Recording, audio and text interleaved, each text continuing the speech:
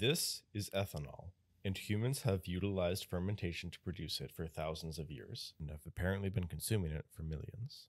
The concept of using yeast to convert plant sugars into alcohol is most widely known for its use on grapes, yielding wine, and barley, yielding beer, but has been applied to literally every consumable I could imagine. Somewhere around a couple thousand years ago, humans discovered distillation, which allowed for concentrating and purifying the results of plant fermentation into stronger forms that we know today as spirits.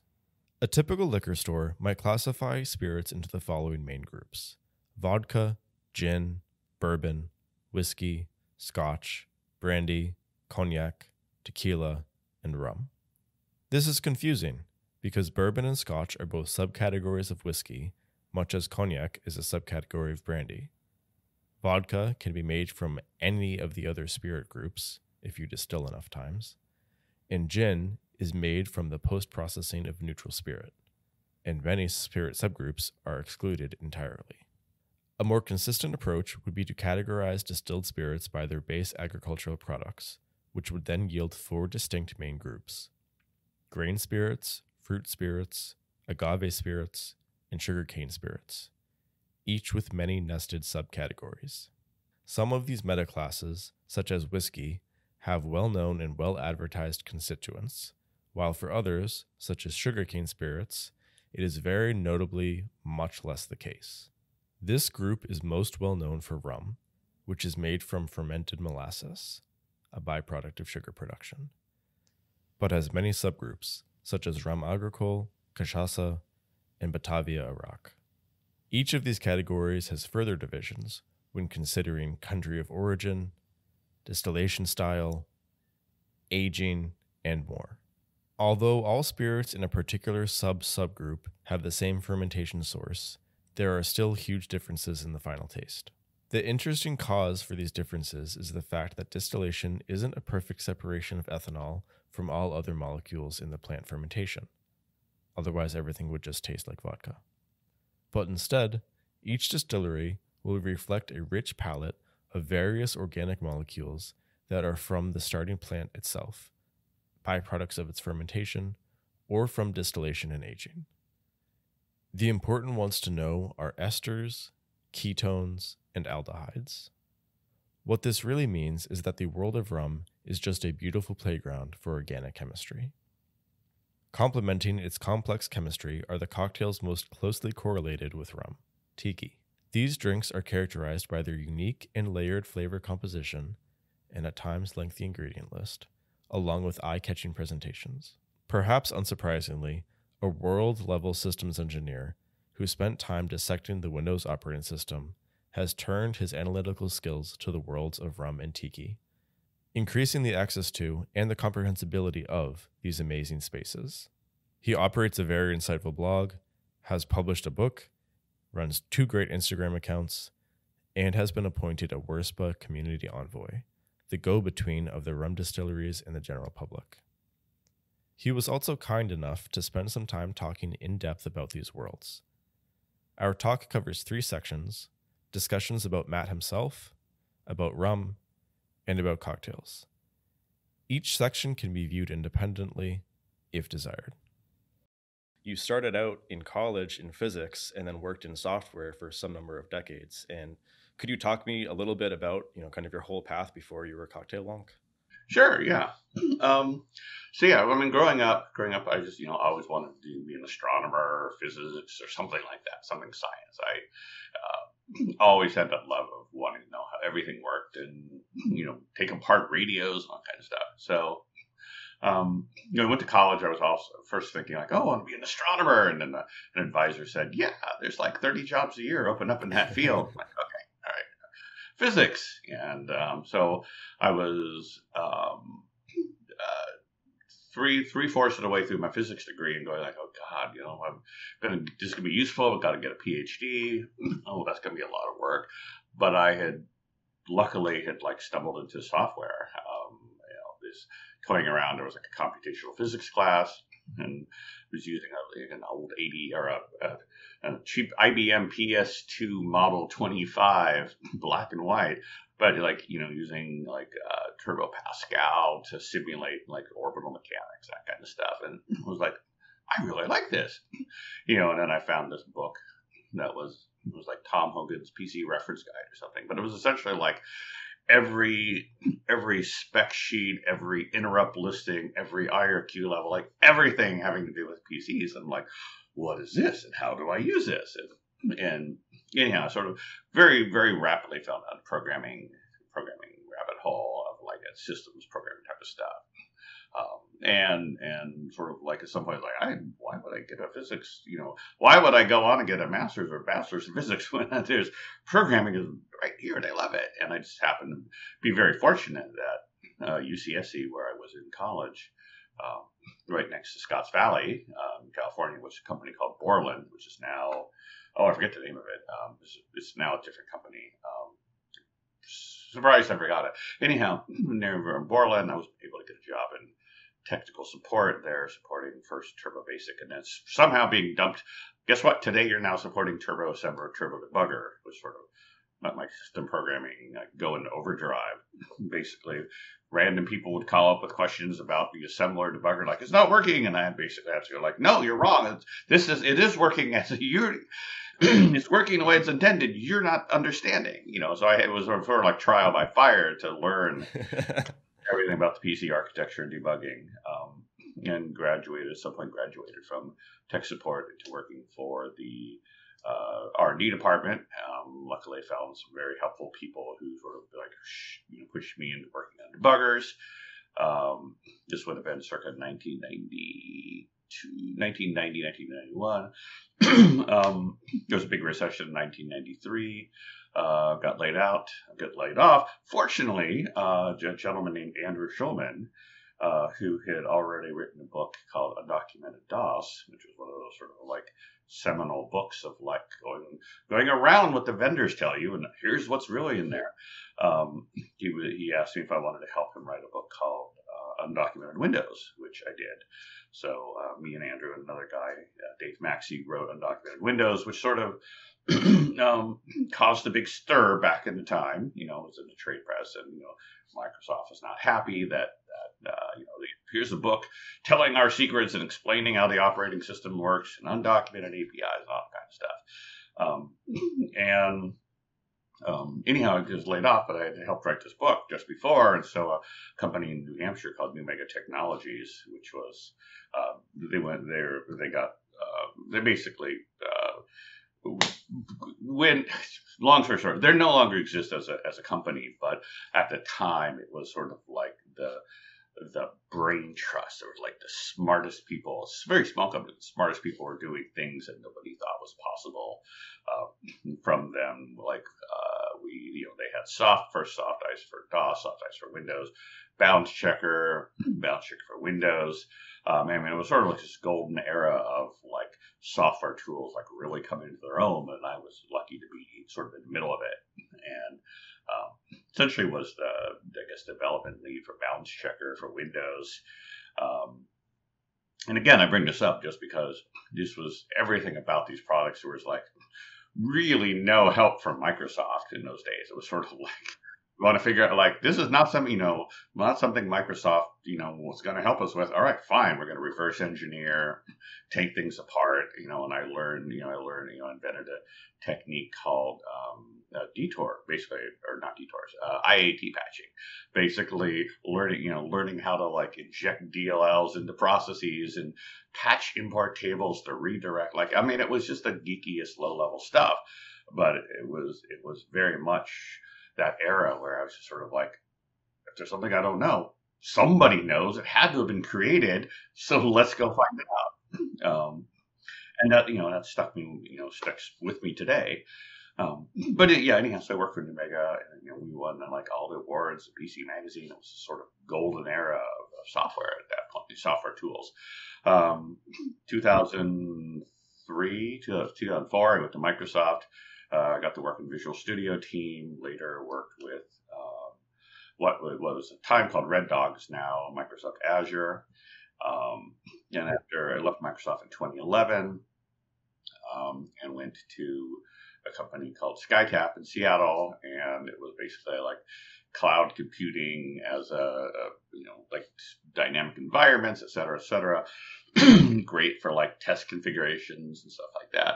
It was sort of like my first real experience with with um, like like distributed systems programming. Up to that point, I've been very very much focused on like the low level operating system tooling aspects. And so it was the first time I'm like, no, I'm calling other services. I'm calling the storage service. I'm calling a, you know, a, UI service. You know, so it was, it was sort of like this brain opening experience for me. But by the time I left, left, um, SkyTap in, um, uh, 2018, it had been 30 years for me and I I had done it. I had seen and done lots of things, and I was just sort of like, okay, like I love the idea of software, but I feel like I'm, even though it's a new problem space every time you're doing something that's never been done, it's still at the end of the day, it's the same thing. Like you know, make a make a design plan, execute it, you know, deal with bug reports, have debates over which bugs to prioritize first. You're still doing iteration. You're still doing. It's like the mechanics of it are the same, and I'm like this is not really that same thrill anymore. Uh, fortunately, about um, seven years earlier, seven, eight years earlier, I sort of gotten into cocktails. Uh, and then rum, and, you know, and we can drill much deeper into that if you want. But basically, are getting cocktails and rum, and oh, and I forgot to tell you, um, back back was you know uh, I did on non-committed Windows, and then I later uh, wrote Windows internals, and then later wrote Windows 95 System Programming Secrets. So I had built into me this sort of like I can write, I can do this, I can take on difficult topics that nobody else is going to write about, and just write about it, put it out there. And so, um, you know, when when my sort of interest in programming was starting to wane, and you know, my wife was always off traveling for business, and, you know, I was like bored. Like, what do I do with my time? And my and you know, telling you know telling my wife you know telling Carrie my wife telling her you know that this I learned this and this and this and we got to go to this distillery we got to travel all this kind of stuff to sort of like feed my desire to know more and more and more about spirit. At some point she's you know she's like I love you honey but you need to go tell other people this like like start writing again. like seriously like you have something to say but I can't be the only person to tell. And so and so yeah, and so I had you know I had written before. I had had a blog. I had had I had written for Microsoft Systems Journal. Like this was just something that I had done for a number of years, and then just sort of like set aside. Um, you know, after sort of a, you know some personal crises or whatever in the early 2000s, sort of like put that so writing sort of aside just to focus on you know getting through my job, and so I sort of like you know, sort of like let writing go dormant. But here, you know, 10 or so years later, she's like, start, why don't you start writing again? I'm like, okay. Took, took time to figure out what do I want this to be? Like, what, what makes what I'm saying different from anybody else? And from that idea was born Cocktail Sort of like this sort of nerdy, wonky approach to spirits and cocktails. Like they're you know they're very much related, but you can examine cocktails in isolation. and cocktail history, you can examine spirits in, in isolation, and in history and all those kind of things. And it's literally everything fascinated me. So I'm sort of like cherry picking what do I want to write about, what do I want to cover, and and you know the more I learned, like oh I have no idea about that. Let's go dig down there and write more and more articles, and it just sort of grew until until the point where um, by 2018, I was sort of like, why am I, you know, going to work every day and I'm always thinking about what am I going to do when I get home? I mean, what is cocktail wonk like? Cocktail wonk was occupying more of my brain space. And, and again, we had some, you know, person, you know, life transitional changes happen and we're like, I don't do this now, I'm never going to do this. So like, let's quit our jobs. My wife and I quit our respective jobs on the same day and jumped into the unknown. And for me, it was, it was having time to write uh, and to research and consult and all that kind of stuff. So it's a very long answer to, to a question, but uh, there's there's 30, 30, 35 years I had to cover in there. So. yeah, absolutely. What drove your interest? Why spirits and cocktails compared to following sports or you know art or music? Do you know why sport uh, spirits in particular? I don't even. I can't really give you a great answer other than than I liked it. Um, you know, it was never it was never about the the like I can get drunk. It was never never about like I like to drink it, you know, whatever. It was. Um, I, I had always just sort of been, you know, enticed by that notion of you know Polynesia and sort of you know the idea of tiki and escapism and, and that kind of stuff. And you know, I had always, you know, you know, like once I had a mai tai on a United Airlines flight to Hawaii, and I'm like, okay, this is transcendent. I don't know what this is. I want to know more. Mm-hmm. And so it's a sort of thing that had lurked in me for a long time, but I just I was in Seattle. It was around 2007 or so, and I had a couple friends, and they were making some cocktails stuff, and it was like you're actually paying attention to this. Like you're actually like squeezing. You know, I'm taking orange juice out of the refrigerator. You're you're squeezing your orange juice, and you have chilled glassware and and all this kind of stuff. It's like, oh, okay, this is kind of fun. I enjoy the cocktails. And sort of it was one of those things I didn't expect it to transform my life, but I sort of taking around, taking around, and then at some point, you know, my obsessive need to to drill into everything interesting just sort of off and went and you know and i just held on for the ride. So yeah there's no you know there was no no bigger notion other than i liked it and i just sort of you know the horses got away with it so. right. Yeah absolutely. Um obviously i want to ask you a lot more about rum and tiki but before i do that i want to so i have a surprise for you. Not that big of a surprise but um I, I, picked up one of your old books. Well, actually, I had the other one. I just forgot. Oh lordy! I just saw that the other day when I'm moving boxes around. Oh, that that's is, awesome. Yeah, that's, that's, full metal. But believe it or not, believe it or not, that's not the largest book I've, I've written. really, I, I only I was able to get that and the undocumented windows, and they were about yeah. the same, you know, comparable yeah. size. Um, yeah. I can see a lot of your your kind of like logical probing mechanisms that you mm. follow here, I see that come up in your kind of cocktail wonk writings, which is right. interesting. And with the it's just, they're just it's just patterns and algorithms, and there's really there's really no magic. It's just like just just understand it, and then you know. but yeah, I, I have a very sort of logical approach to things. So I think that you know maybe is what makes you special because it's I haven't found anyone that does it kind of quite the way that you do. But I wanted to ask you I'm a pretty um, I'm a pretty standard Windows user these days. I you know basically just use it to run my programs, and I don't understand exactly um, why there's the need for people to do what you were doing back in the '90s of you know understanding what's going on in Windows underneath the hood. Was this for like other programmers who were trying to write uh, programs that would run on top of Windows? Yeah, I mean it's I mean it's a it's a great question. Uh, what I would say is that at the time, you know, when I mean the functionality of Windows or Linux or pick your operating systems, not even specific to Windows. But at the time, like these operating systems were still sort of in their, you know, in their their big bang phase of, of having exploded and going out. They were adding new features, new functionality at a rapid pace, and and you know sometimes the desire to add a add a new you know new feature or set of features and capability outweighs the ability to sort of fully flesh out the features you have.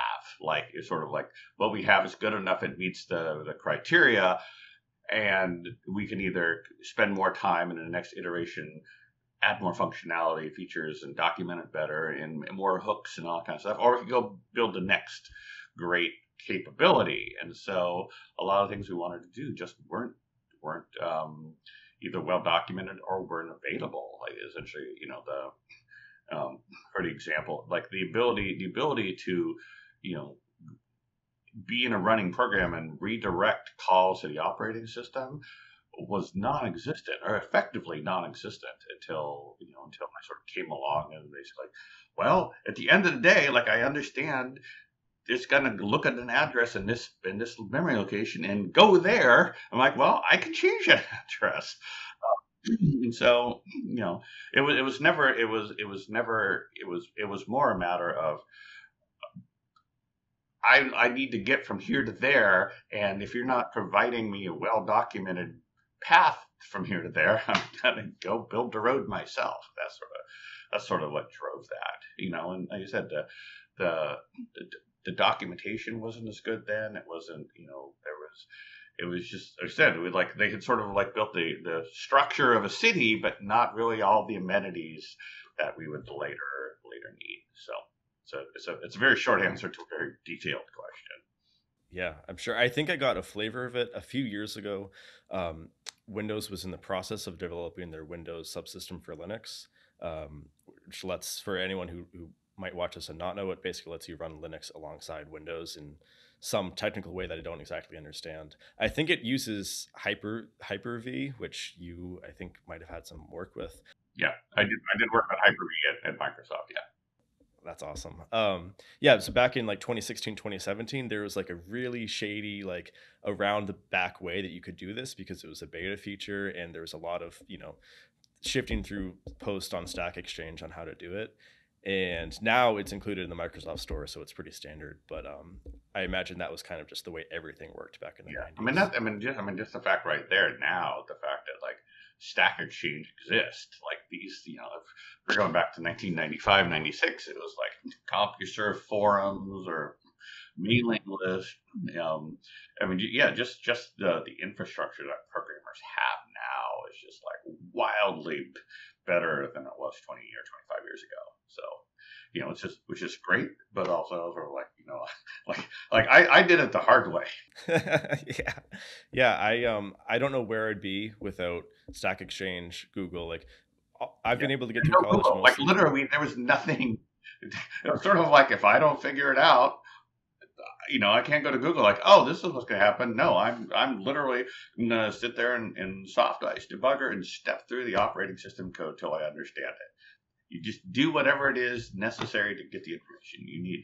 I w- I'm barely old enough to kind of remember having to go to the library with my dad to look things up in the encyclopedia to learn things.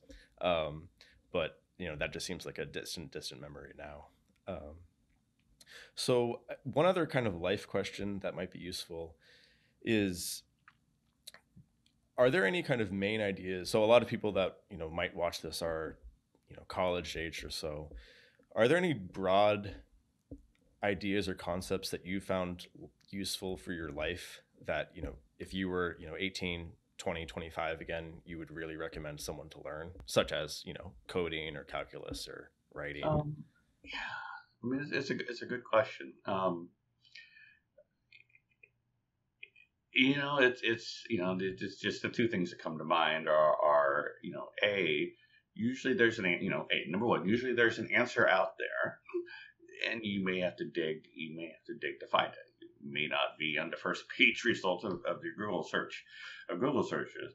Um, you know, learn how to dig, learn how to you know critically think, and and question everything and all that kind of stuff. You sort of obvious stuff. Um, and the other, the other sort of one that that you know, you know, in terms of coding, but even more life in general, is there's often times where you're like, there's a little like a little rock in the road or something that like you know this is something i'm doing over and over again. Every day i'm doing something along these lines.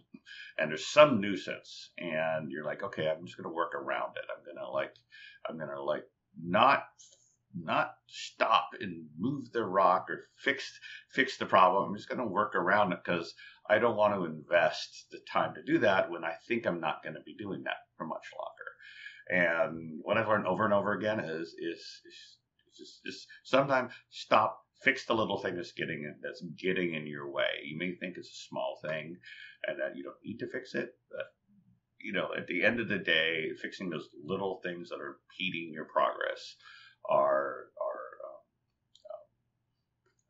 uh, uh, you know end up saving you enormous amounts of time. I mean, just you know, like a modern current example for me is like you know something with like a spreadsheet. Like, oh, I need to like figure out how to like add uh, add value two to a hundred numbers in this column. And I'm like, I can either like, you know, I have to go learn the function and go stick around in Excel to learn how to do that like in an automated way, or I can just go do it manually. Like it's sort of like it's faster in the short term. Just go, I'm just going to go do it myself. You know, add two. no, you tell yourself, nope, stop, do the work. That learning experience of like, like, oh, okay, you're forced me to learn a function or learn a technique, technique, whatever is actually valuable and actually made me much more efficient um, going forward. So I don't I don't know how valuable that is, but that that's you know sort of like the wisdom of, of like 30, 30 or 40 years in computers. So I know I, I oftentimes find myself in that exact situation of I can spend, you know, the time to do this once correctly, or I can just do, and it'll take longer, but like, like what's the long-term payout? And I've already gotten to the point that usually the answer is just take the time to do it once correctly, and then you can just automate it for the future. Um, but I, I, am not totally there on the wisdom yet. So hopefully, as the years come by, you know, it's even um, stuff like like unit tests. Like uh, I was never a fan of unit tests early on, but when I finally sort of embraced them, I'm like, okay, I just fixed this incredibly dumb bug that should probably never come up again. But you know, I'm supposed to not submit a fix without writing a unit test to test for that case. And I'm like, ah, dumb. Why am I writing a unit case? Okay, doesn't matter. Sometimes they will still save your butt when you some later yeah, point. That's a good piece of advice. Yeah. Yeah. No, just just just knuckle down and do the damn damn unit tests as, as innate as you think they are. Sometimes, you know. Yeah, you, you know, funny like I had this sort of conversation with my wife about about um, you know she's laying out a book and like in her approach to lay, making out laying out a book and basically change tracking like you know at the end of the day if you think about it like laying out a book and writing code are sort of similar. Like this is it's this iterative process. You're doing things, whatever. And at the end of the day, there's still change tracking and who's editing and and how, and you know, ended up having this sort of deep under you know thought understanding of like oh, like your mindset is very much not something of like like you like you want to you want to track everything in extreme detail um, and and make all the big changes at once rather than like make small, lots of little small incremental changes. And she's like, and she's like, small incremental changes, you know, introduce more, more uh, opportunity for error. And I'm like, but yes, but in the coding world, we're like, we have unit tests. So like we can make a small incremental change and it's basically free to find out if we screwed up something. So, you know, sort of, you know, you know, it, it's not just coding. Um, but you know, yeah, in, invest, invest time to do it right. So. Yeah, I think that's really great. Um, okay. Uh, I think I got the broader stuff out of the way, and I'm finally able to. I, I'm so excited to be able to ask you this. Can you please tell me what is rum and how is it different from other spirits? Sure. Um, I get I get asked this a lot. I, I'm aware.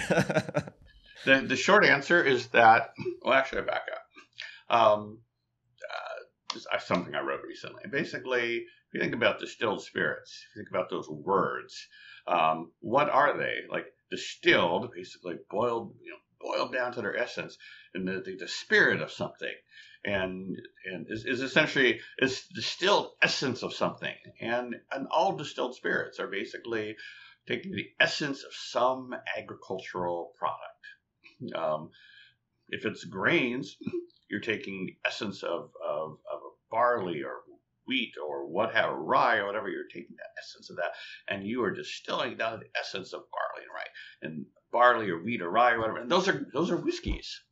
And same with fruit. If you take you know mostly grapes, but also you know works with apples or other other fruits. If you take those fruits and you distill them down to to their essence, you have brandies. So brandies are made from fruit.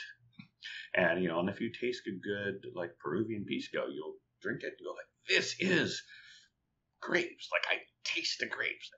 It, it just jumps out vibrantly. This is concentrated grape." and so, in terms of rum, or you know, broader category, you know, broader category, is a is a cane spirit. Is a spirit made from sugar cane, and um, rum is rum is what we you know is what most people call it, but there are other other types of, of canes, sugar cane spirits, and I and I delineate them: sugar cane, not sugar. Say sugar cane, um, the tall grass, not the beets, not sugar from other sources, but it's the distilled essence of the sugar cane plant, from which we get things like rum and clairin and and grog and cachaça and all this whole category of, of sugarcane spirits. Um, so yes, it's, it's fun. At the end of the day, it's um, and I've written about this. It's your your agricultural product you start with that defines what type of spirit you're making, be it be it agave spirits or sugarcane spirits or whiskeys or or or um, brandies, and that for the most part, those are the only real big categories of spirits.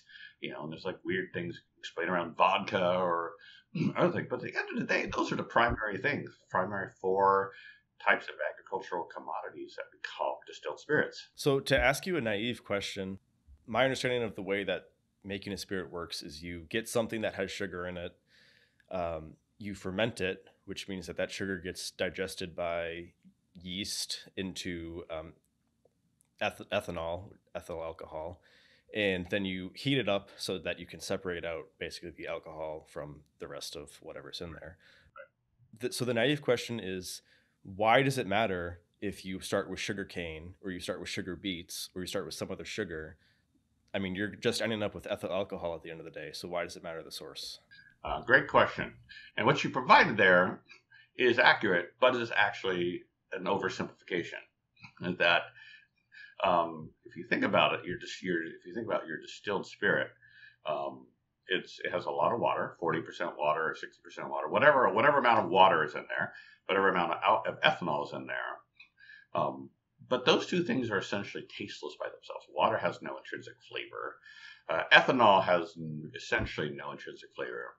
But if you drink a funky Jamaican rum, what is what is all that? Where's all that intense flavor coming from? And it's coming from this very small percentage of things which are not alcohol or not water.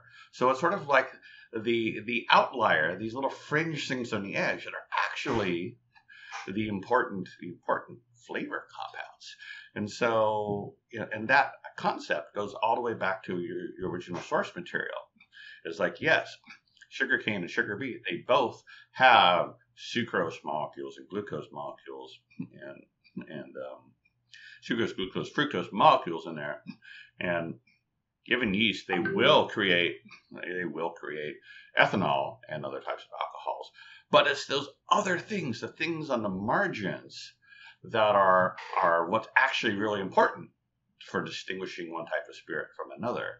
If you actually look at the at the um, there and there are like PhD papers on this, like uh, contents of sugarcane, you'll see there's waxes and and other organic materials. And it's these other organic materials, these things that aren't just the sugar in the water, these other materials that in turn influence the yeast. And and those and the yeast and influence yeast and it makes and when the yeast yes yeast makes ethanol but it also makes methanol which you don't want and then makes other types of alcohols uh, fermentation makes other types of alcohols, and it's those other types of alcohols that, in very small quantities, that are actually part of the flavor. Um, and and again, the the the ratio, uh, the types of organic materials that are in your starting your starting point also influ- influence the ratio of esters, uh, you know, of esters that are in the final outcome of the fermentation process. So it's sort of like, like I say, yes, the mainline process is about taking sugar and having yeast and making alcohol, but that's really just sort of like the carrier. That's that's sort of like that's, that's like the least interesting. It's, it's conceptually the most valuable part is the alcohol, but it's actually it's sort of like the carrier for which all the other smaller things on the fringes sort of ride along, and it's those differences between you know the other, you know, the organic compounds you're going to find in sugarcane juice versus beet juice that are going to, you know, are fundamentally what differentiates sugarcane juice as rum versus beet juice, which would be beet spirit or something like that. Right. Okay. And just to get into the chemistry a little bit, I'll, I'll probably try and put a small introduction to our talk, you know, just mentioning some of the chemistry concepts. But just to say it here again, um, and I'll put something you know a visual on here for anyone that's watching this but um there's al- there's the alcohols which or there's ethyl alcohol which is what people mean when they say alcohol. And then there's kind of heavier alcohols. There's esters um, which is just a one type of organic molecule. And i understand that aldehydes also play some role um, is there any other group that's important? Uh, yeah, yeah, yeah. I mean, I mean, ester, ester, higher, higher alcohols, esters, aldehydes. Uh, I'm drawing a blank. There, there are several more um, that I'm.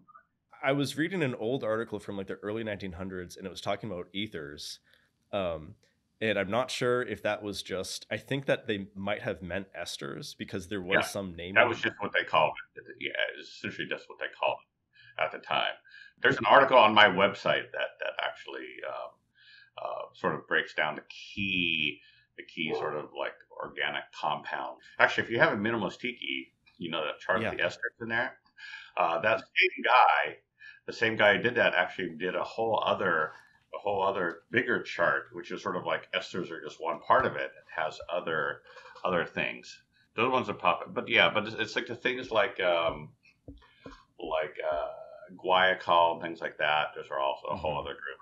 Uh, something I've written but not yet published has goes into this into extreme detail. So, but yeah, basically, yeah, basically, if you know, if you look at the at the field of organic chemistry, if you look at the major groupings of compounds, odds are a lot of them. You'll find a lot of them in rock.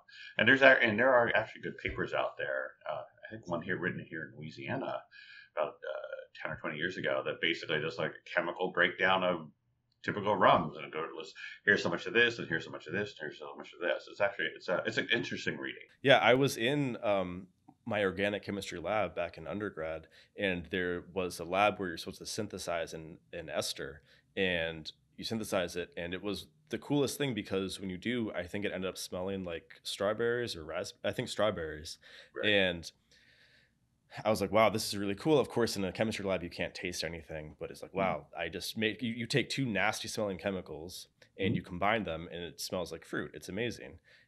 And the thing that was really interesting to me about rum is like that is organic chemistry. Mhm. The most incredible thing. Um, like everyone always complains about, you know, you're in you're in class, you're like, oh, like when the hell am I ever going to use this? You know, it's like rum. Like that's like it's like the perfect, like it's the most exciting case. Exactly. So since we've gotten a little bit into the chemistry, I wanted to ask you some questions. So I've always liked rum. My family, like even when I was like five or six years old, the rum taffies, the rum flavored, uh, like saltwater taffies on Cape Cod, those are always my favorite by by far. A few years ago, I got a bottle of Smith and Cross, which is, I don't know, I certainly see it online as you know, kind of the inter- what is the introduction for funk for a lot of people. Right. Could you tell me what uh, funkiness or hogo means when it comes to rum? Yeah, yeah. This this question comes up a lot as well. Um, uh, funk, hogo, uh, etc. It's called other things. Is essentially um, they're they're they're sort of they're sort of like a writery writery sort of um, sort of like flowery description of it. Very you know you know sort of wonderfully you know you know whatever. But you know concept at a technical level, it is essentially it's a set of organic compounds that you know we particularly associate with with um, Jamaican rum.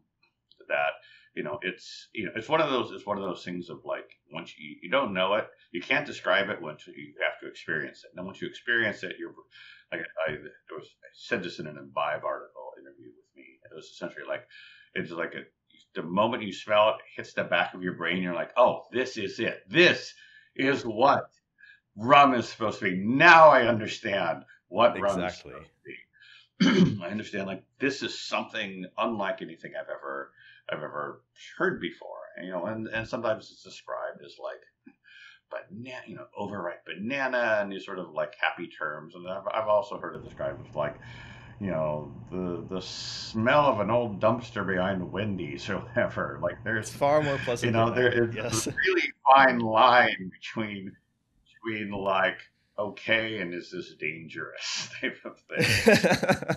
you know, it's it's Right. it's it's not what I would call earthy. It's not you know not like eating dirt or anything like that. It's just a sort of like like uh, nature and fruits and bananas just sort of left alone and is sort of you know and, and you know it's it's like I said it's, it's, it's impossible to describe but technically um, is essentially um, various esters and various um, higher alcohols and I think some aldehydes. It's just you said like all distilled spirits have you know they are basically stews of different organic compounds. Um, but the flavor of whiskey is different from the flavor of Jamaican rum because um, usually similar compounds are the same, mostly the same compounds, but in different ratios. So you know, you know, you might find little elements of Jamaican funk in a bourbon, but they're going to be in such small quantity that we don't we don't notice them. It's just it's as I said it's like if you think if you think of like the spectrum of, of different organic compounds, different types of esters and higher alcohols and aldehydes. And if you think of them each as like on the graphic equalizer, you could like adjust of what are the relative intensities of each of them, and and you know you know that a you know if you got granular enough, you could essentially custom tailor any spirit to taste however you'd like it to if we had the resolution and the ability to do that. Uh, but yeah, this is sort of like Jamaican rum has there are certain organic compounds that are that are um, elevated to higher levels than flavors we don't associate with, with Jamaican funk. Sure. So Jamaican rum is particularly known for this kind of flavor profile. What do they do differently in their distillation process to get this particular flavor? So um, the the short answer is they basically is essentially a, a much more elaborate and longer fermentation. Um, you know, a typical like a, like a typical fermentation for like Bacardi or or some like a relatively light rum. You can do in like 24 hours. It's like you take molasses, dilute it, add yeast. 24 hours later, you have 8% alcohol. Go. but um, that that that fermented wash you're going to get from them is going to have uh, you know, a lot of alcohol, a relatively high amount of alcohol, but relatively little other congeners. It's these congeners that are flavor compounds that we're going to concentrate in distilling. Now, if you want more congeners, more flavor, helps if you let the fermentation go a little slower. Uh, maybe sacrifice a little of the of the alcohol level in exchange for more flavor. Basically, let more of the alcohol that's produced create more esters. Um, so, I mean, you can certainly get a more flavorful rum just by you know choosing a yeast variety and controlling temperatures and whatever such that it runs a little longer. That's sort of baseline. Um, then you can further supercharge fermentation with techniques like uh, dunder, which is essentially just a stillage. Um, same thing, sour mash whiskey. Basically, take the acidic, slightly acidic wash that's, or slightly acidic, what's left in the still after distillation, and use that as part of your source water. Basically, by adding by adding acids uh, to your fermentation, you can you essentially create more opportunity for esters to form. So dunder is dunder is one way they do that. Um, Another way might be um, cane acid, which is literally taking, like in Jamaica, taking the juice of maybe like bad canes or cane juice you get to use or whatever, and basically letting it sit in a tank with cane stalks and basically turn into vinegar, basically, uh, using that as part of your of your um, uh, mash recipe. Um, and so you can certainly get get um, higher, funkier flavors with with you know with dunder, cane acid, and maybe picking a particular yeast strain. And, you know, and I'd say an example like Worthy Park, they have pretty funky, interesting rums that use just those basic techniques of finding, um, you know, of, uh, uh, actually, I don't, I don't think they use dunder, but, but basically uh, using, you know, ch- choosing the right fermentation yeast, you know, basically growing their own fermentation yeast. You can create, basically what I'm saying is that you can create a fairly funky rum without doing anything too exotic. Now, if you want to get into the really crazy stuff, you know, like Hampden Estate, um, you that's where you get into muck, which is where, which is what everybody thinks dunder is, but muck, muck is the is the weird like bio warfare levels of, of bacteria, whatever. Um, and basically, if you can use muck, and there's basically three distilleries that we know use muck. As essentially you let your normal fermentation go. It maybe takes two weeks. Let that go do its thing, and then you basically put in like a dose of this muck, and essentially this bacterial load sort of like re-energizes and causes more additional organic compounds, you know, flavor compounds, congeners to form, and in particular, flavor uh, favoring um, higher alcohols and longer chained uh, esters. Basically, the more the more complex the more complex the alcohol molecules and the acid molecules, the more complex the esters are that form from those things. So muck is essentially a way of like, you know, sort of like it's not restarting fermentation, but like taking the results of a of a normal fermentation and basically like supercharging it to create even more congeners. So those are the big, as I understand it, those are the big three techniques for creating, you know, these sort of weird Jamaican washes. And and I don't know about muck usage, but I know you know there's techniques of like dunder and things like that. Those are you'll you'll see those elsewhere.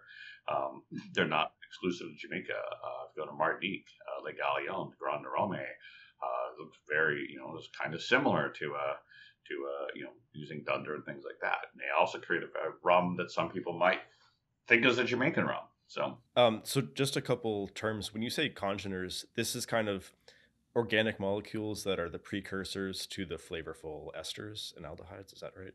Not exactly. When I say congener, um, the it's funny because different people have used congeners differently. Uh, but the the way people who are very who are way smarter in this than I am describe it is congeners are essentially anything other than water and the ethyl alcohol. So basically, congeners in some contexts would mean like something bad, something you don't want. Like if you're trying to make completely pure alcohol, anything that's not, you know, ethyl alcohol or whatever you're trying to make, anything that's not that is like a congener. It's sort of like it's an impurity. Um, you know, in the case of distilled spirits, it's those congeners, it's those impurities that are giving you the flavor. Like you said, the water's not giving you flavor, the ethanol's not giving you flavor. All that flavor is coming from these impurities, and those impurities are again higher acid or, or alcohol, high, uh, other types of alcohols, acids, um, aldehydes, esters. Again, it's all a stew of different organic compounds. Um, so technically, my understanding is that the esters are the impurities, if you will, that exist after um, fermentation ends. Um, those are distinct from the impurities you might find in a spirit after aging. Like, for example, wood extracts. After you age, you know, parts of the wood are going to go into spirit. Uh, they are also organic compounds, but some people would say they're not congeners because they weren't put in there by fermentation. So I said, I, I, you know, one of the things I've been talking about lately is the distinction between called fermentation forward rums and aging forward rums. And there are rums that could be both. But I'm saying if you if you you know if you took a Jamaican rum wash, distilled it, you get a rum fire and if you and that's incredibly flavorful. Like just clearly these flavors existed without any aging. Um, then if you took a uh, took um, say like aguardiente, um, you know, a, a Spanish heritage fermentation that had gone for a day, distilled to say 70 or 80 percent alcohol, and tasted it, it would be it would have some flavor to it, but it's not going to have Jamaican rum level of flavor in it. So, so uh, I said some rums are fermentation forward flavors, other ones like especially like the Cubans and Puerto Ricans more of that flavor derives from the aging process rather than the fermentation process. So that's sort of one way I kind of like differentiate rums of them. So, but yes, con- congeners in theory are the things that came out of the fermentation process. Got it. Okay. And then back to this idea of muck. Where does this muck come from? So, muck is sort of like um, the closest analogy I can think of is sort of like your your starter yeast. It's not actually a yeast, but you know, at home, like we have this thing that we keep alive, and we occasionally feed it, and then you know keep it, you know, give it nutrients, or whatever, keep it alive. And when we need some of it, we take it out and we and we put it in whatever we're making. so in um, in Jamaican distilleries, essentially they have this thing called a muck pit, and and periodically they will put um, sometimes it's it's um, I said it's a muck pit. It's it's a thick, very thick liquid, basically, or goo, if you will, um, filled with bacteria, all sorts of crazy bacteria, and they occasionally, I guess, feed it with um, dunder, some of the little bits of dunder, maybe um, cane juice that they've run over some fruit to pick up some various bacteria. Um, this these these the exact feeding of the muck is sort of like those deep dark secrets that even I can't extract from the from the people who know. It's sort of like every distillery has who has a muck pit has their way of maintaining this culture, and uh, they're not in any hurry to share those those details. Makes sense. And if anyone goes online and reads about Dunder and Muck, um, or Dunder, you know, if the article is more than five years old or maybe 10 years old, it seems that there was a confusion between what is Muck and what is Dunder. Why was there this kind of mix up? Do you know? uh, I don't know. Good question. I mean, it confused me. And then um, uh, I went to I went to uh, Jamaica in 2016 with a group of uh, people, including uh, like Camper English and Peter Holland and Mark Cade. And I vividly remember standing at the Hampden Estate Distillery um, with with Vivian Wisdom, and we finally one of us finally maybe even me finally got the courage to ask Vivian, but but but where's this dunder? Like where's this where's this like goat heads and all this crazy stuff? And he's like he's like um dunder is just stillage. It's just what was left in the pot stills after after we used it. And you go, oh, so where? Okay, great. So what's all these stories about goat heads and stuff? It's like what you're asking about is what we call muck. Look down, and it was the most intensely insane, disgusting aroma uh, any of us had ever smelled. But it was sort of like it was like, oh, okay you know, and when I got home, I immediately like, okay, this is new information, and everything I've read about this has this all screwed up. So I'm just going to set that record straight uh, as much as I can. So that led to a couple articles, which led to more articles, and you know, basically, one of my little subspecialties is documenting weird aspects of Jamaican rums. And I'm very privileged that I know that I know um, a couple people, including like the undisputed master of, of these weird stuff, and he's happy to share certain things with me. So I'm very lucky. So reading your blog, it's really insightful, and like I said, I haven't been able to find the information you have almost anywhere else online, which is really something. Yeah, just like I don't want to write whatever what somebody else has already written. I want to. I'm going to take the time. I want to put something. One other question about funk: Why isn't any other spirit able to you know produce the same kind of flavor profile for example whiskey so uh, you know it, you know i think to a certain extent is you know just, just do they want to. Um and you know to be honest there are some uh you know batavia arrack is you know not exactly rum it's sort of it's a it's a cousin of rum if you will but batavia arrack certainly has notes that some would call funky um, that's made in Indonesia, basically using uh, red rice to sort of like create the yeast that they are then going to ferment molasses. So it's a molasses based spirit, but red rice basically creates helps create the yeast that becomes. Ah, I was confused about that. Okay. Yeah, that's a that's a whole other uh, esoteric rabbit hole I'm, I'm going down. Um, the also I think if you ever had, I think it's like Shochu or some some other like uh, Asian distilled spirits, which also can get this kind of like weird, kind of weird, weird and wonderful way kind of flavors out of them. Um, I I don't know them particularly well. I just I haven't gone down that rabbit hole just because Caribbean rum has kept me more than busy for the last several years. So makes sense to me. Yeah, I mean, I mean, I would say one thing is sort of like um, you know, the things we associate with funky or weird are usually tend to be uh, natural yeast, like airborne yeast or whatever. It tend to be like specialized weird organ or weird yeast varieties, um, as opposed to the very tightly controlled. Like if we make Scotch whiskey, we use exactly this yeast. Some, you know, distiller, you know, some spirit makers like we know our flavor profile, and we're going to be very religious about what yeast we have. Whereas the sort of more I don't say less industrialized spirits are sort of like hey, it started fermenting. Whatever natural yeast was in the air here is working to make something we like. So the article you have documenting your trip through Hampden Estate is just mm. the most eye-opening thing. It's it's really just incredible how it just looks like it's part of the earth. Yeah, go to yeah. If you haven't read the River Antoine one, go look at that one. Oh, I haven't. No. Wow. Okay. Yeah, River River. river that Hampden is is a is a is a is a model of modernity compared to River Antoine.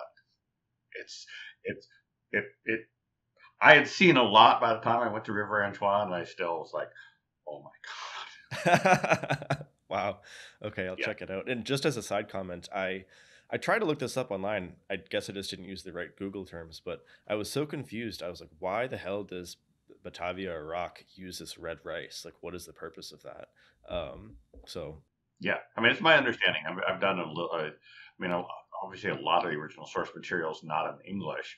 Uh, uh, there's actually a, a, um, a, decent sort of peek into it, like highly technical but decent peek in it uh, on Boston Apothecary, uh, where it talks about Batavia arrack and like the yeast process and kind of the red rice and yeast or whatever. So, yeah, yeah, search yeah, search for Batavia arrack, red rice and yeast, and you'll probably find it at some point. The yeast keyword. Okay. Um, so stepping back to rum more broadly, and I was going to ask this to you kind of as a joke, but I don't want to run the risk of someone listening to just the smallest soundbite and getting the wrong idea. So I'll kind of ask it more straightforwardly, which is if you go to a liquor or at least, you know, in Boston, Massachusetts, if you go to a liquor store, you'll see, you know, do you want silver rum, uh, dark rum, um, or like overproof rum or gold rum? Could you talk about why this is like not really a helpful categorization scheme? Um, yeah, I've, I've, I've, written extensively about this. This is one of my uh, biggest pet peeves. And you, you, don't, I mean, outside of a, you know, tequila where you say like white gold dark tequila, um, you don't really see this. Um,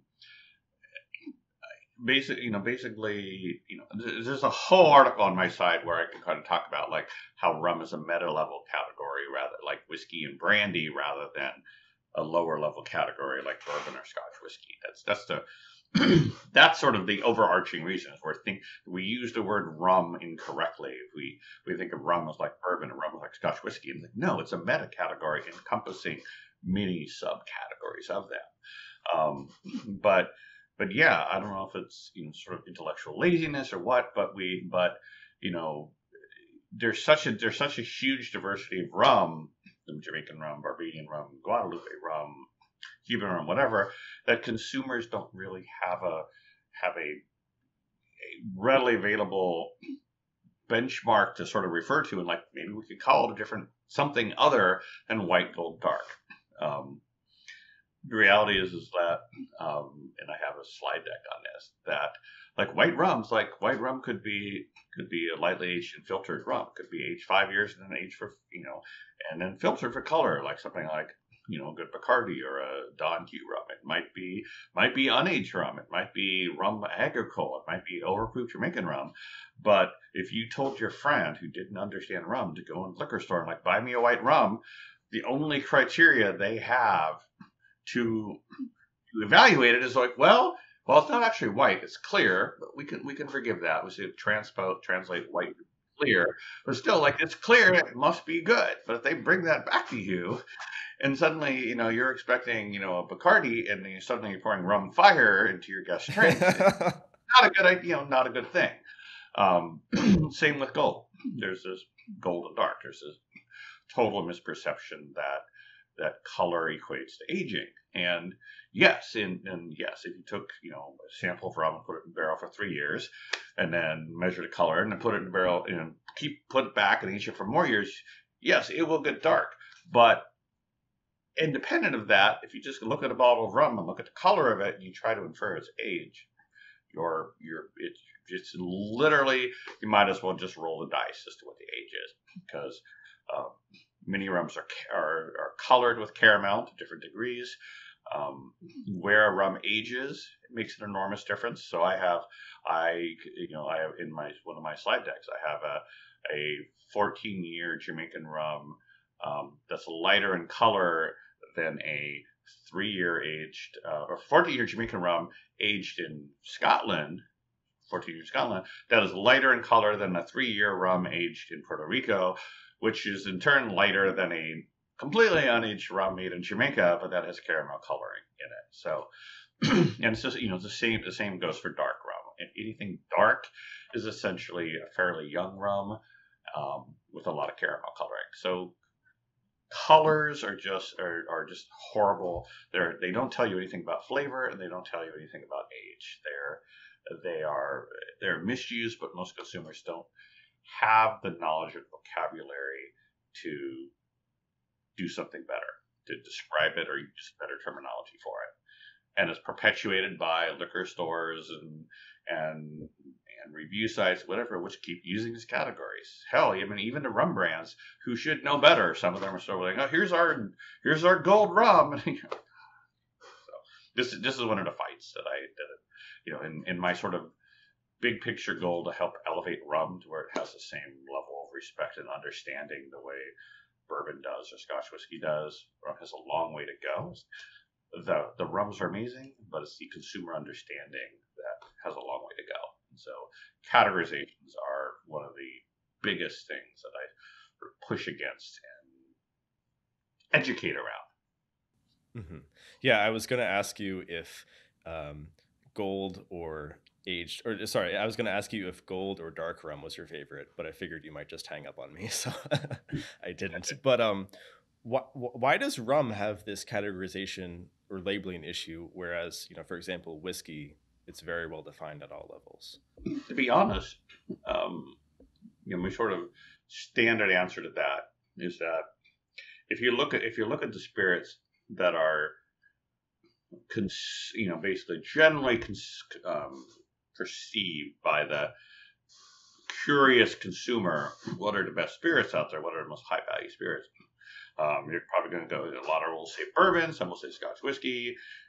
Uh, some will say cognac. And you're like, what is what is what is different about those than rum?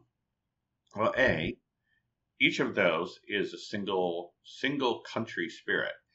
Bourbon can only be made in the U.S. Scotch whiskey can only be in Scotland, et cetera, et cetera. They're single country spirits. Um, and B, in all three of those cases, those producers people, the producers who make those products years ago, decades ago, basically said we're going to work together to basically elevate this category, to educate around this category, and to create basically standards as to what can be called bourbon or be called Scotch whiskey. So um, I forget exactly when cognac started this, but bourbon certain in the 1960s and basically the federal regulation of what can be called a bourbon must be made from at least 51% uh, corn and um, it must be aged at least you know if it's age it must be in you know at least this, this long and in these type of barrels blah blah blah same with scotch whiskey scotch malt whiskey regulations came about in the 1960s and so those regulations and those industry pushes around elevating those categories educating people. Bourbon is good, and there's a wide variety of bourbons, but they're all good. We're basically elevating, you know, seeking seeking to elevate understanding of bourbon and why it's good and why it's quality. Something a lot of money and effort, decades, it's been spent doing. Same with Scotch whiskey, same with cognac. Um, and we're starting to see this in tequila as well. But tequila is also, you know, tequila and mezcal, also a single country spirit. Whereas rum is just a normally diverse spirit. We shouldn't, again, we shouldn't be comparing it to bourbon. It shouldn't be comparing it to scotch. We should be comparing it to, say, whiskey. It's a broader thing. but, you know, it's so diverse that consumers can't typically wrap their head around it unless they really want to. So they don't understand what does Cuban rum mean? Why? What makes rum Cuban rum? Why is Cuban rum separate from Jamaican rum? why is a Martinique rum agricole different from, you know, for example, a Demerara rum? There's this, it's such a big problem space and, and so little knowledge around it that people just go like, I don't know, it's just rum and it's gold rum and dark rum and I like this one and I don't like that one. And it's, uh, you know, it's, it's, like I said, it's, it's just, it's too big of a of a concept for a lot of people to wrap their heads around, and even if they care about it. So, right, yeah, it's it's certainly expensive, but I would say it's rewarding. It's also like really good bottle of rum. You can get it for like twenty five dollars, like thirty mm-hmm. dollars. Mm-hmm. It's just insanely right. undervalued. No, ab- absolutely, absolutely. And I know I know that was sort of like this vague, wandering answer, but it but it's true. I these these are the things I I spend a lot of time thinking about. How do how do we? It's it's a it's a problem for me to solve or to try to help solve. How do we get people to understand that Jamaican rum is think of it as like the way you think of bourbon and different from Martinique rum, maybe how you think about Scotch whiskey and and and you know, Demerara rum, how you, might, how you might think about Canadian whiskey or whatever. Basically, get people to understand that these sort of regional styles of rum are their own distinct entities with their own regulations and their own levels of quality, and we need to approach them as as distinct things rather than just hey, rum's wild and crazy and has all these things in it. Yeah, and along those lines, you are labeled as um, like WIRSPA Community Envoy, which is kind of a, a long title. Could you tell me what that is and what that means? Well, yeah, it's actually, um, I'll make it even longer.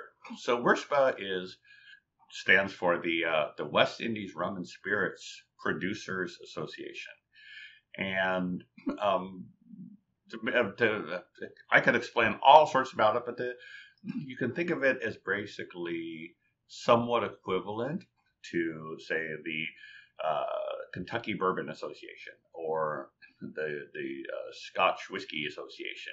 Basically, trade groups which are their members are producers. So the Kentucky Bourbon Association basically promotes Kentucky bourbon and educates around Kentucky bourbon and facilitates, um, say, cooperation on things like Kentucky Bourbon Trail tours. Single malt Scotch whiskey, or the you know Scotch Whiskey Association, same idea of like, what are things of interest that all Scotch whiskey producers want to collaborate on? Uh, education, tra- tours, trade negotiations, et cetera, et cetera. You know, clearly, clearly those groups, you know, Scotch Whiskey Association, Bourbon Association, same like in cognac, you know, I forget what it's called, uh, BNIC for cognac. Again, trade groups like we this these are groups fo- focused on things that are beneficial to all the producers who make that spirit. And WIRSPA is essentially that, but rather than being a single country, it's essentially representing um, the rum makers of the CARICOM countries. And I confess I didn't know what exactly the definition of CARICOM was either. But it's essentially it's a group of it's a it's a, essentially the very oversimplified answer is is the set of of Caribbean countries that were once British colonies: Jamaica, Barbados, Trinidad, Guyana, Saint Lucia, uh, blah blah blah there are some other weird exceptions to that, like Haiti's an exception, Dominican Republic exception, but essentially is a group of the Caribbean countries who who bound together to work on issues of, of common interest for all of those things. So, if, you know, CARICOM as a whole is not specific to rum, but CARICOM as a whole is things like trade negotiations, for example, with the European Union bloc or the or the or America or or you know trade blocks in, in Asia, for example, when it comes to things like import tariffs, like all these things most people never think about, but in terms of like international trade relationships and taxation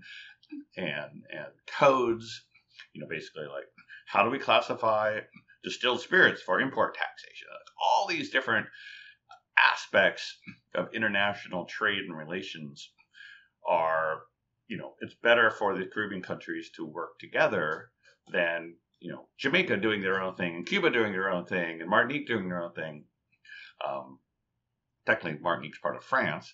Um, uh, but it's essentially like we have more power together than we do individually. As tiny Caribbean countries, we have more power collectively bargaining together. So, WIRSPA is the essentially represents the rum makers of CARICOM countries. And again, so that's going to be like all the Jamaican Jamaican. I should be able to list them off my head. No worries, I'll post them. St. Lucia, um, uh, uh, Belize, uh, and I'm knowing forgetting like St. Vincent, Antigua, et cetera, et cetera. But essentially, all those little tiny countries. But collectively, the rum, the rum company, and they and they do a lot of interesting things behind the scenes. So, you know, for example, um, again, very long story short, but the Caribbean Caribbean countries got screwed during some uh, international trade negotiations that went down in 1997 and basically collectively they went to the european union and said like you've caused us economic harm. Um, we would you know you know we'd like basically compensation and that compensation was in the form of the european union giving money or providing funds for caribbean rum producers to elevate basically to to um, transition from bulk rum to premium rum, to to upgrade their facilities, to uh, do better waste treatment, to you know add bottling lines, buy new caps, basically help these Caribbean producers. You know, because they cause economic harm to these Caribbean producers, basically giving them money to basically grow and expand and revamp and retool to be more efficient in the in the international market. So, WIRSPA WIRSPA members helped facilitate that agreement, and then WIRSPA basically helped um, figure out how these funds would be spent. Like this producer gets this much for this project, this producer gets this much for this project. So it's a lot of a lot of behind the scenes things, and some other things that are more visible, like for example the authentic Caribbean rum mark. So if you look on bottles from you know, from CARICOM countries, you'll often see you know the little ACR logo. Um, uh, and then, you know, there's like was in the past some authentic Caribbean rum trainings and consumer education. Um, the group has been around, WIRSPA has been around for 50 years, and I essentially act as sort of like the liaison intermediary between the producer groups and the producer group and and the enthusiasts because I like I can play in both camps. I can I can speak I can speak rum geek to the enthusiasts, and I can also speak producers. So like I know, you know, I know all the basically all the heads of all the various WIRSPA member distilleries, and I can go back and forth. And you know, consumers are saying this about this, and there seems like an area where they're confused, and maybe you want to address that or whatever. So I'm sort of this intermediary, um, help promote WIRSPA, but also promote sharing of information both ways. So that's what I do. I mean, it's, and it's actually it's a it's it's one of many different things I do. I'm not I, just, I don't exclusively work for WIRSPA. I you know I do consulting for brands and producers and whatever. It's just but one of many things I do. But it also gives me uh, great access to lots of different producers that most people don't have, and so I'm very fortunate in that because that gives me more information to write and share about rum. Absolutely, yeah. You also, I'll, I'll point, I'll put a link. Um, you have rum talks which is where you are talking with directly with various rum producers that's a pretty cool series i'm not sure if you're still doing that i think you had one as of a couple months ago at least yeah we we would um it was something that started you know when we when then the covid lockdown and at this point um there's still a few more we could do it's it's a matter of like we would approach each WIRSPA member distillery and say hey, we'd love to do this. This is this is you know you can see what we've done before. Here's how it works. Very low uh, amount of work for your on your part, um, and many of them took it up, and a few have been like, "Now nah, we're not interested. That's fine." Um, and a few are just like if like a few new members have come on board uh, since we sort of pushed through that. Um, but yeah, there was it was essentially. Um, we may not get to go to these distilleries anytime soon, so we're going to do as much as we can to sort of take you inside of these distilleries and take a very rum enthusiast focused look at how they make rum, you know, and not just like like what is rum? Like no, it's like we assume anybody watching these videos is a pretty hardcore rum geek, and so then knowing that we can go nerd out on, on the, the technical stuff, which which was a joy for me to do because I learned a lot uh, doing that. Um, yeah, it's it's certainly one of a kind sort of interviews that you've done, which is really helpful. And I'm not sure if you were the first, you know, person. I assume you weren't the first person to know this, but you were the way that I found out about this Appleton Estate 17 year that it should be coming out sometime. That you know the community is very excited about. Um, yeah, you're kind of like I, I view you as like one of the like sports insiders that breaks the news on who's getting traded. Like you, are that kind of person. That's what, that's, that's what I what I hoped uh, you know what I like to do. Um, in that particular case, it was sort of it was a a U.S. TTB label approval. So you know it's all it's public information. It's out there. It's just the U.S. government sometimes doesn't make things easy, but you know, if I if I can reverse engineer Windows, I can the TTB website. So yeah, that's great. Um, a few more questions with Rum, if that if that's. I mean, there is a almost there's like a semi infinite number of questions I could ask you, but I'll you know try and keep it to the reasonable ones. Um, so, well, I guess sugarcane spirits more broadly. There's rum, but there's also rum agricole and there's cachaça. Could you just mention briefly what these are? So, um, at the end at the end of the day, they're all sugarcane spirits, and generally speaking, the the names we choose to apply to them are based more on social traditions than on necessarily technical differentiations. So, you know, sort of like, you know, there's there's debate like is is cachaça a spirit of its own or is it rum made in Brazil? Um, and you know, and you know, there's people on both sides of what it should be called, but you know, we, we are respecting the Brazilian tradition of calling it cachaça. Um, but you know, if if a if a, if you took somebody who had no knowledge of rum or an alien from space and put them down and and looked at cachaça production, looked at a say Martinique rum agricole production, they they would find small. There'd be very small differences, but they basically say, oh, they're doing the same thing. So they're all. I prefer to, you know, I said I when I'm talking about the broader set of things, not just Jamaican rum or whatever. I tend to use the, the name sugarcane spirits because it lumps it properly encompasses what they are. Um, but to those particular two examples, for example, rum agricole is is essentially um, rum made from sugarcane juice rather than molasses or, or cane syrup.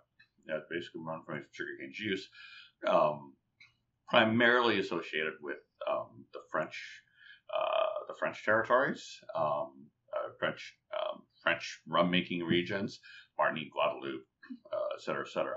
However, there's the EU definition of what can be called rum agricole, um, which I think also includes uh, Madeira. So again, you know what what you know again a name actually depends on who's using that name and where they're using that. Um, but yeah, TLDR rum agricole is essentially rum made from sugarcane juice. Um, depending again depending on what whose definition of it you mean. Uh, cachaça is, is basically sugarcane juice rum or sugarcane juice spirit made in Brazil. Uh, cachaça has distinct regulations around what can be called cachaça versus something else. There's an article on my site that goes through Brazil's regulations of cachaça. Um, uh, likewise, there are regulations around what can be called Martinique rum agricole, uh, Guadeloupe rum agricole, all sorts of regulations. People say rum has no rules. There's plenty of rules. Um, but essentially, you know, if you go, a step higher here, you'd say like cachaça and rum agricole are probably the two best known examples of rum made from sugarcane juice rather than molasses. Most most like Americans and Europeans, with the exception of people from France or Brazilians, most you know our sort of center for you and me, our center of mass is molasses based rums, and sugarcane juice rums are sort of like the exception. But if you go to Brazil, no, sugarcane juice rums are the norm. Uh, same in France. They, they, you know, cane juice, sugarcane juice rums are sort of their frame of reference. So that's that's the, the oh, probably overly long answer there. No, it's it's wonderful, and I understand that in Brazil there's kind of unique woods that they can use to age the cachaça. Right. But if you take an unaged rum agricole and an unaged cachaça, in principle, are they the same thing? They're they are so there are there are typically small production differences. Um, uh, the the rum agricoles in Martinique have to be distilled in a column still, and they have and there's a limit range on on the ABVs of them. Uh, the cachaças, at least the artisanal cachaças, uh, think brands like uh, Avuá or Novo Fogo here in America. um, those artisanal cachaças are usually pot distilled, and usually just pot distilled to a slightly lower strength. Um, I think Martinique as well favors particular yeast strains. I don't know if they're don't actually know if Brazilians are to use a different strain. So they're like if you put them side by side, there are taste differences. Like if, if you're an ex- experienced spirit taster, you will pick up taste differences. Um, you know, but they're on the I would say on the smaller end of the scale. If, if you took a neophyte and gave them rum agricole and gave them cachaça, unaged version of each, you would they'd go like they're essentially the same thing. They both have that of very raw, grassy, sugarcane juice, raw taste to them. Um, but you know, as you noted, um, the uh, Brazilians they have lots of lots of hardwood forests, and they use other other types of wood like uh, Amburana, um, which has a crazy sort of like cinnamony note. Uh, they will they will Asian woods that are traditionally not used um, elsewhere. Basically, non-standard European oak or American white oak type of thing. So Brazilian, you know, listen, the aged cachaças uh, or unaged cachaças can be, you know, an unaged rum agricole fairly similar, but once you age them, sort of like uh, the rum agricoles go in one direction and the Amburana cachaças or the hardwood, hardwood cachaças go in a very different direction. Okay, great. Yeah, I was I couldn't find an exact answer in the unaged case comparing these two spirits, so I went out and bought um, an Avuá unaged and I forget which rum agricole.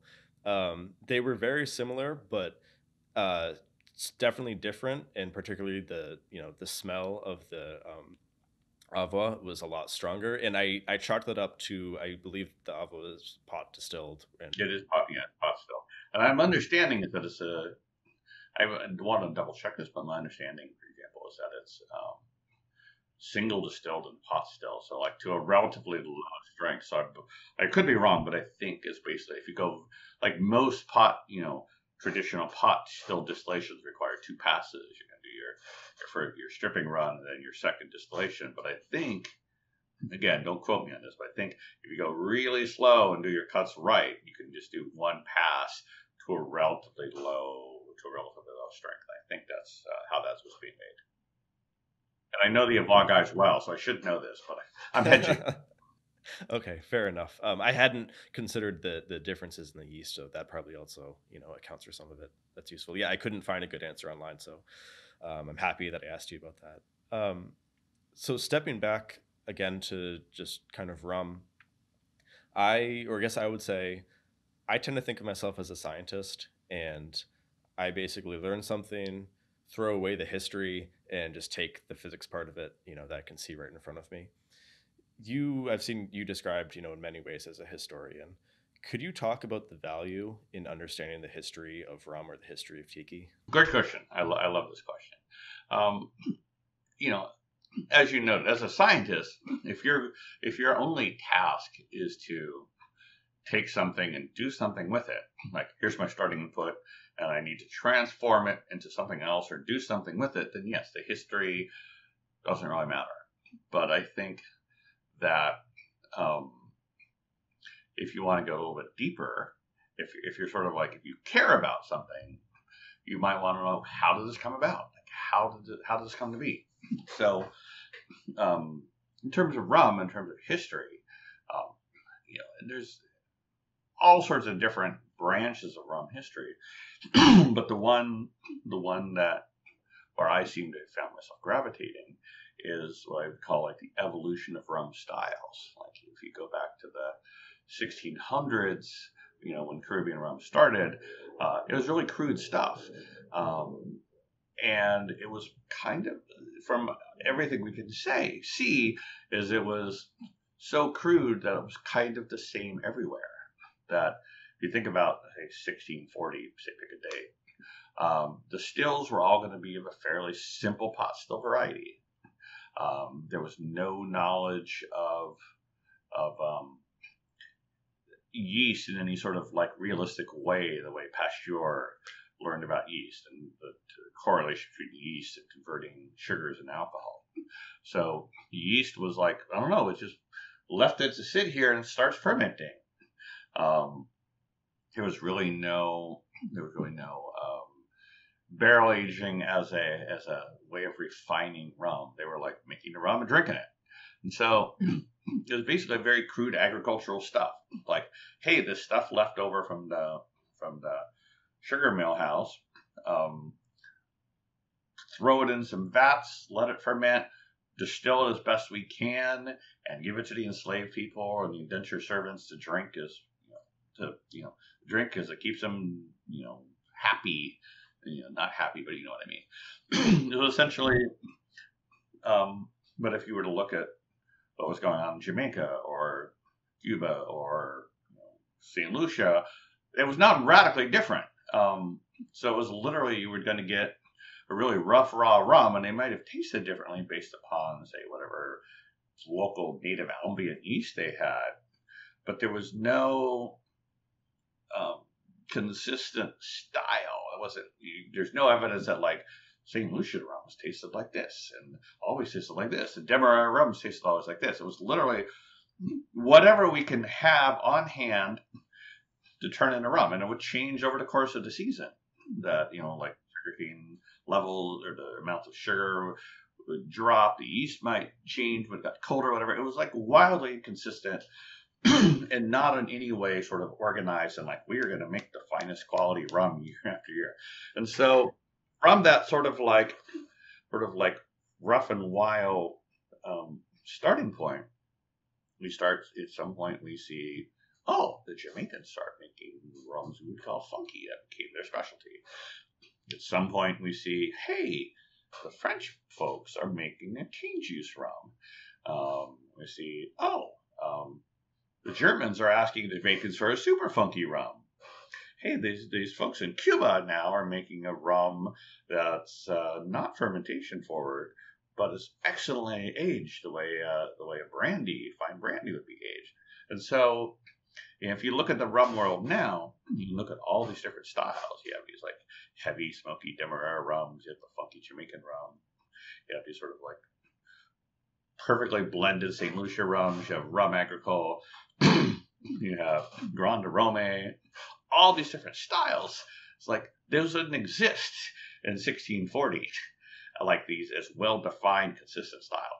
So my that branch of history is like, where did these actually come about? Like, like what factors played uh, a part of that? And it turns out there were like um, uh, certainly, you know, scientific advancement of scientific understanding, the Industrial Revolution, changes in sugar processing, changes in in um, distillation uh, technologies, um, political, um, like political rival, or basically international rival rivalries, sort of led to the rum agricole as we know it today. Um, geo, geo, geo, geological happenings, you know, volcanoes erupting. It's just sort of fascinating to sort of like, how did we get here?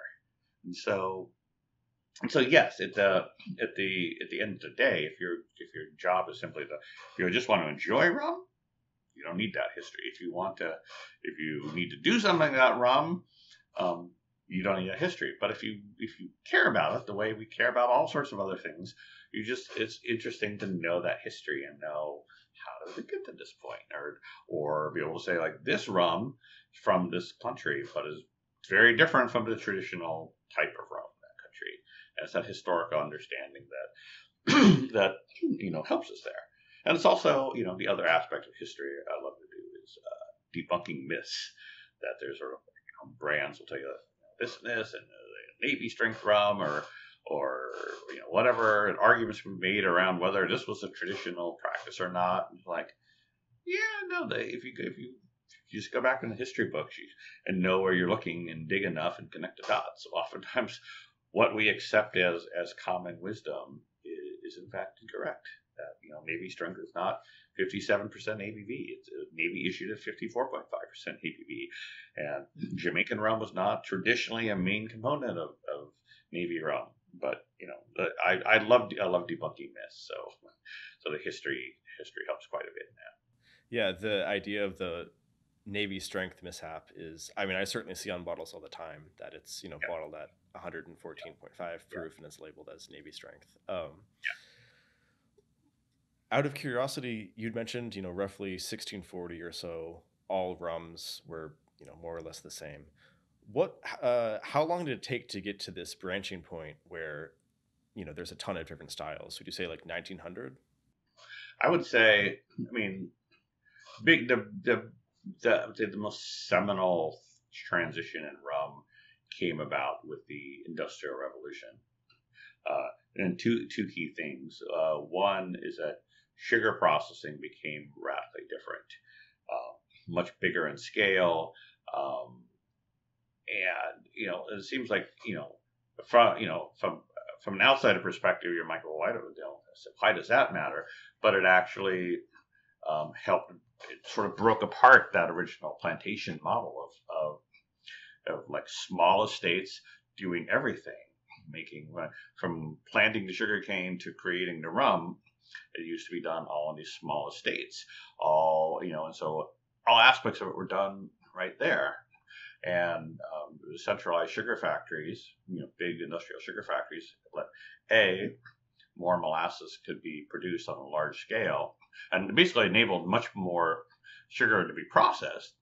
And B, if their output was large quantities of molasses, you then didn't need to have your distillery in the middle of a sugarcane field. Like it doesn't need to be right next to the sugarcane mill. Like you could make molasses from, for example, Martinique, ship it to the United States where the New England rum was being made. Because think about New England rum, where were they getting their molasses from in you know in 1750? It certainly wasn't locally grown sugarcane.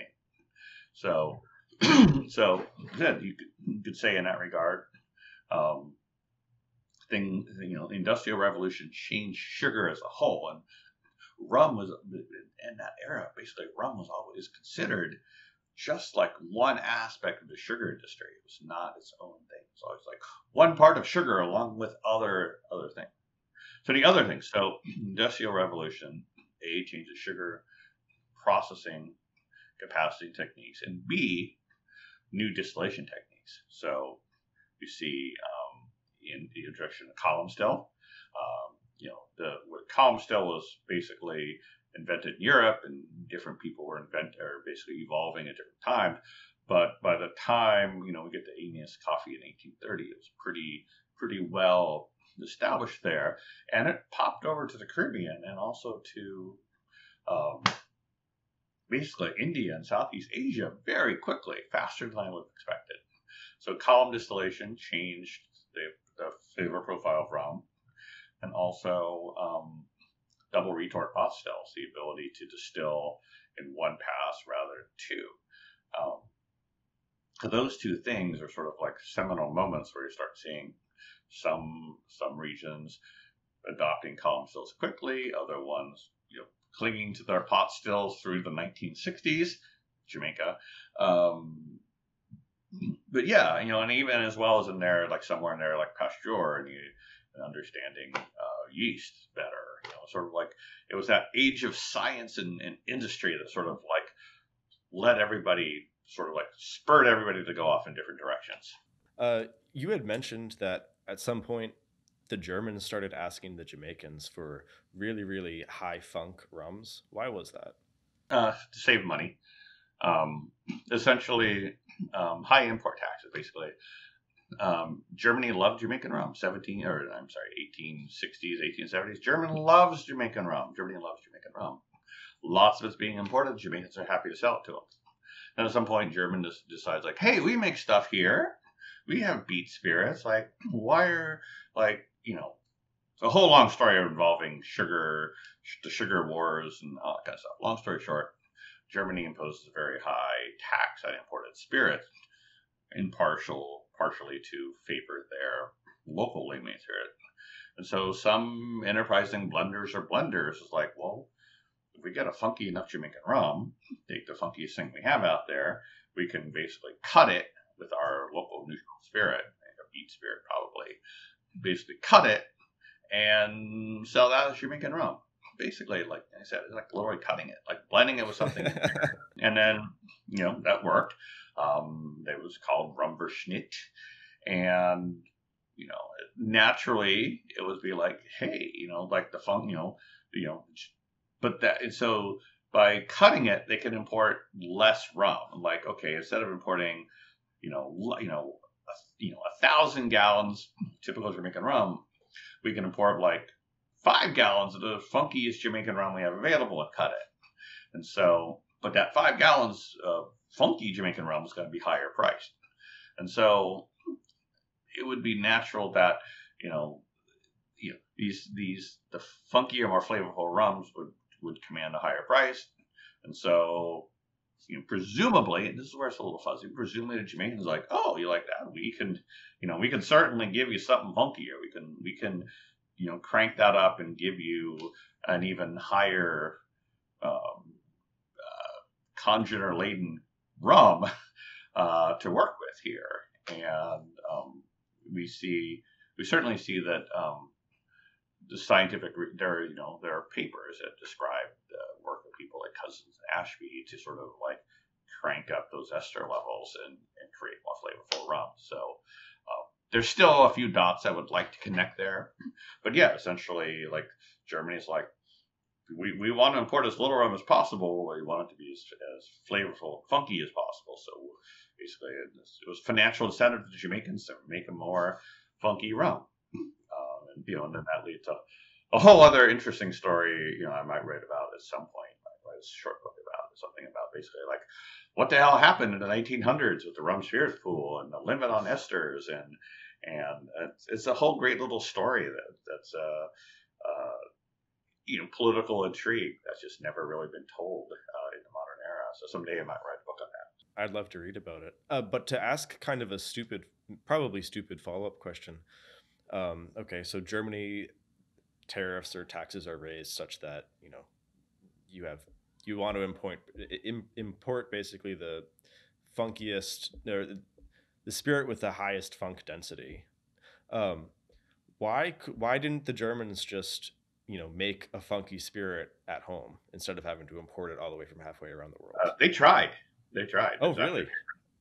They tried. Um, apparently, you know, and this this is sort of the outer limits of what I've researched, but um, you know they don't they don't have they didn't have a whole lot of sugar cane to to to work with there. You know, could, they could have played with molasses, but you know they had all they had all sorts of sugar beet um, molasses there, and um, what from what I've read, and again this is where I'm fuzzy. What I've read, like the a spirit made from beet sugar molasses is not as good. There's something there's something off about it. Like it doesn't have that same flavor. Doesn't mean some of it was sold, um, but uh, I think it was just one of those. This is a great idea, but it didn't pan out in reality. So yeah, again, it's, it's one of those areas that that I would um, someday will go down that rabbit hole deeper than I have already. Got it. Okay, and kind of relatedly, um, I, you know, I'm from the Boston area, and there was at least you know in 19 er, early er, early 1900s i think there was you know the great molasses flood in boston where a molasses tank you know blew open but there's this style of rum called medford rum right. i've only and i've only had a few different bottles but they're all kind of like very boring and kind of depressing and like it, it, i live right next to medford the town medford and i would love for it to be just this amazing spirit that like I can proudly, you know, this is Medford rum and it's great, but it's just not. And are, are there any like kind of reasons why that might be? Yeah, it's a it's a, it's an interesting. Um, what do, do you know when they when they were distilled? Yeah, it's well, I mean, yeah, it was distilled within the past like couple of years. I don't know. Okay, yeah, yeah. Med Medford rum was known and recognized as a as a name, and it was known known for being particularly you know flavorful and what have you. Um, there's a great paper I can send you, uh, written by uh, Peter Valaer in 1937. He worked for the U.S. government. Um, describes it as very flavorful, and basically, um, you know, New England rum was already starting to fade away um, when Prohibition approached, and Prohibition basically like cut off all the air. And so um, it sort of limped along. Basically, by the thing by the 1960s, it was basically it was just not nobody was making rum. But some point, you know, you know, the American craft distilling comes along like let's make spirits everywhere in small distilleries you're like hey you know medford rum we're in medford or close to medford let's let's name it medford rum. You know i'm not I, like i said i'm not calling out any particular distillery but it's very easy for for a distillery to slap a name on something and call it this style and have it not actually be indicative of what it was in its heyday. So I wouldn't judge that. There actually was a, um, I think actually the the guy who owns Privateer, uh, Andrew Cabot, um, he actually has some old Medford rums. He has old small bottles, and and there was a bottle that uh, years ago, um, a couple years ago, like it was a Medford style rum. Uh, that was opened at Rumba Seattle, and I sadly was was gonna get to be there and missed it and didn't get to go. so I yeah I've never I've never had Medford style rum myself, but from the description I read in this Valaer report, which is a great document, it's got all sorts of science in it. Uh, it was known was supposedly very flavorful. So wow, okay, interesting. I think it would be useful if you could you know switch over from talking about rum broadly to talking about its kind of close companion, which is tiki. To start off, could you just explain what is tiki?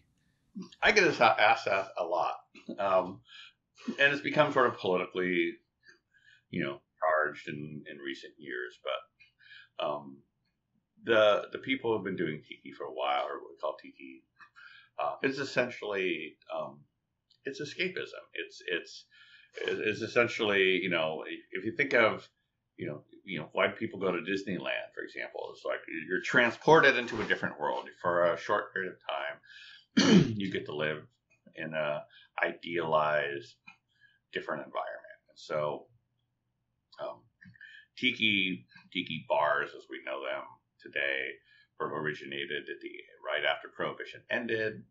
We were still in the in the, um, in the middle of the Depression, and they were essentially a way for people to escape, sort of like their everyday life.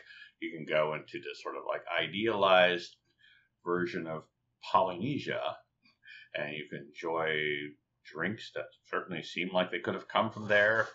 You know, fruits and spices and rums, and there's no outside world. You know, there's no windows, whatever. It's literally create a little like immersive experience where you know for a few hours and a few cocktails you get to imagine you're in the South Pacific or something like that. And that's what that's what you know, I would think most people would say is the essence of it. It's not cocktails per se; it's escapism, and and certainly cocktails can play an important part of that. You know, the you know a, a good mai tai while you're while you're listening to you know exotica music and you know with you know beautiful ferns and and you know nautical stuff. It's it's it's escapism. It's it's really no different than uh, you know people go to Disneyland and immerse themselves into you know Star Wars stuff, for example. It's just it's what uh, what came about in the 1930s and and grew into a cultural phenomena uh, by the 1950s. So okay,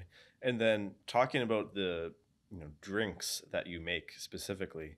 Um, if it's okay, so I'll, I'll, I'll steal f- from your book. If you don't want me to, just let me know. But um, in, in your book, you kind of it's like a little bit difficult to classify. Like if someone asks you, like, oh, you know, what is Negroni? There's a very clear description there.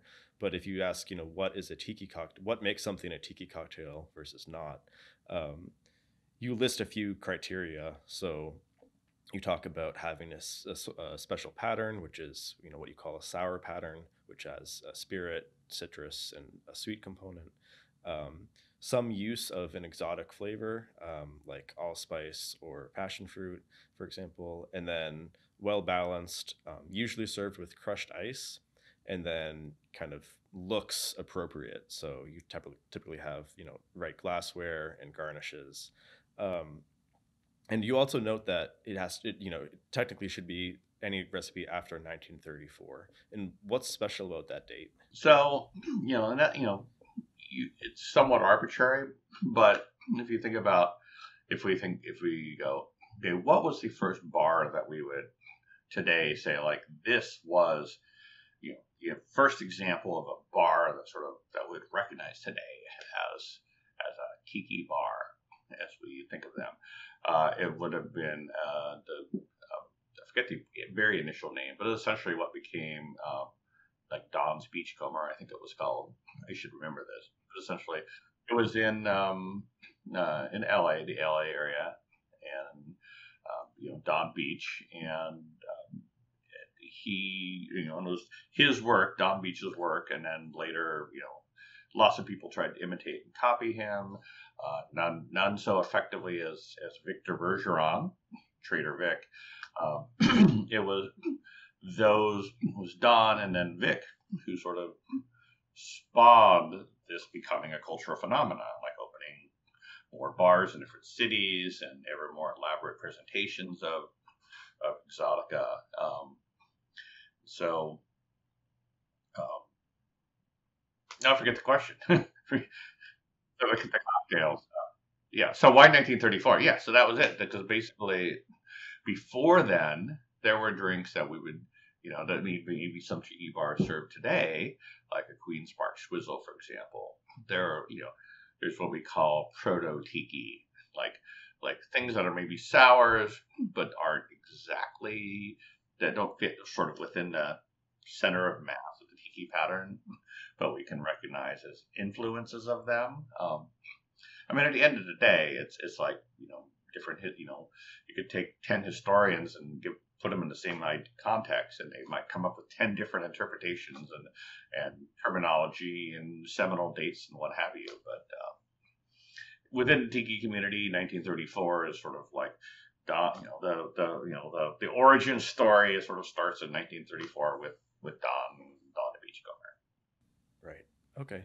Yeah. I uh, a while ago I asked my brother-in-law, who's you know fairly decent cocktail maker himself, what you know how do you, what's how do you know if a drink is a tiki cocktail compared to you know a normal a normal drink and he said attitude and that kind of made sense to me i mean there is an element of that and i would say you know that's sort of like the glassware and the you know, glassware and the garnishes it's sort of those those things are are part of that escapism it's part of they sort of contribute to that experience like you can make a wonderful mai tai but if you served it in a Nick and Nora glass without ice. I was like, it tastes the same? Sure, close enough, but it's also not particularly escapist, uh, if you will. Um, along those lines, there's a particular, you know, kind of decor associated with, you know, tiki. Not, I'm not talking about the cocktails, but I'm talking about the way that the bar is designed, and you know, even you know, the shirts that people wear, dress wear. How important to that is that to kind of the whole ambiance? I mean, you know, I, I think it's going to depend from person to person. You know, like, you know, some some days I will, you know, wander out, you know, dressed like this, wander out and make myself a mai tai and not put a garnish on it because it's look, I'm just tired and I want to drink. Um, and it's still tiki, but you know, I think that um, if you're going to a bar, you know, when yeah, you know, going going to a tiki bar, going to a smuggler's cove or the Mai-Kai or Latitude 29 is is most people want a, a very sort of immersive experience. It's different than just going to your local your you know your local Chili's or something. It's, it's those touches that that you know make it uh, you know, make it unique, make it special, and, and you know there's a, there's a you know it's sort of like you know you mentioned earlier form versus function. You know it's just like is it is is this you know does it is it necessary for function? No, you don't need paper umbrella. You don't need the, necessarily need the pineapple fronds and and the and the all the crazy stuff. But the form, or but but the form of it actually enhances our experience, or can enhance our experience. So, yeah, interesting. I, so, I come at it from a perspective of so a, a, a, similar sort of idea, but obviously different direction are like speakeasy bars um, which I, you know, personally, I absolutely hate I think it's kind of you know I think it's lame and the drinks are usually horrible. It's usually like a five dollar Negroni, which is you know you get what you pay for. Um, the tiki thing is certainly a step in the right direction, but what I really value is just they're just the most interesting at least from what I found, they're the most interesting recipes. They're extremely well thought out. They're extremely balanced. They're unique. Like I'm only 27 years old and I'm already so tired of going to a restaurant and like, oh, what do you know? It's like a small variation to an old fashioned, a small variation to a margarita, and like a small variation to a Negroni. It's just like I'm not paying twenty dollars for this. Are you kidding me? Um, the tiki cocktails are the most interesting beverage class that I've encountered. Um, I do wonder if it's possible to take those interesting, you know, drink elements and uh, your book talks about the importance of garnishes in some way, not just from an aesthetics point of view, but also kind of vegetal notes from like a banana leaf, for example. And I think that that's important. But I do wonder if it's possible to kind of port the, you know, extravagant and wonderful cocktails you get from the land of tiki into some other kind of environment that isn't escapism per se, but is, you know, some other sort of locale. I'm, I'm not sure. I don't know. Do you have any thoughts on that? Yeah, I mean, it's a, it's a good, it's a good, it's an open question. I, I, I think that um, certainly Tiki, you know, uh, while you're t- thinking or while you're speaking, I thought of an analogy, um, sort of like you know, I'm I'm at that age where like I grew up in the, in the early '80s, and so yes, I loved heavy metal. I love Guns N' Roses, all the kind of stuff. you know, and there were people who will look down on that genre. It's fine. But if you actually look at some of the musicianship, the skill that goes into that is like some of the best musicians out there work in that space. And I think that's somewhat like Tiki and that, you know, there's people who just think like all overly sweet drinks and you just pour a bunch of juices and some rum in. Like, no, like the people, the good people, like the ones we are in our book, you know, Doc Parks and the Jason Alexanders, you know, and the Daniel De Palas and all those people, they're like these are really great bartenders who could who would excel in any bar doing interesting drinks. Um, in terms of of sort of like transporting it to like a different uh, what what to call it, not lifestyle, but um, sort of like a different overarching theme. You know, thinking rockabilly or or some other thing. Um, and so certainly, you know, certainly possible.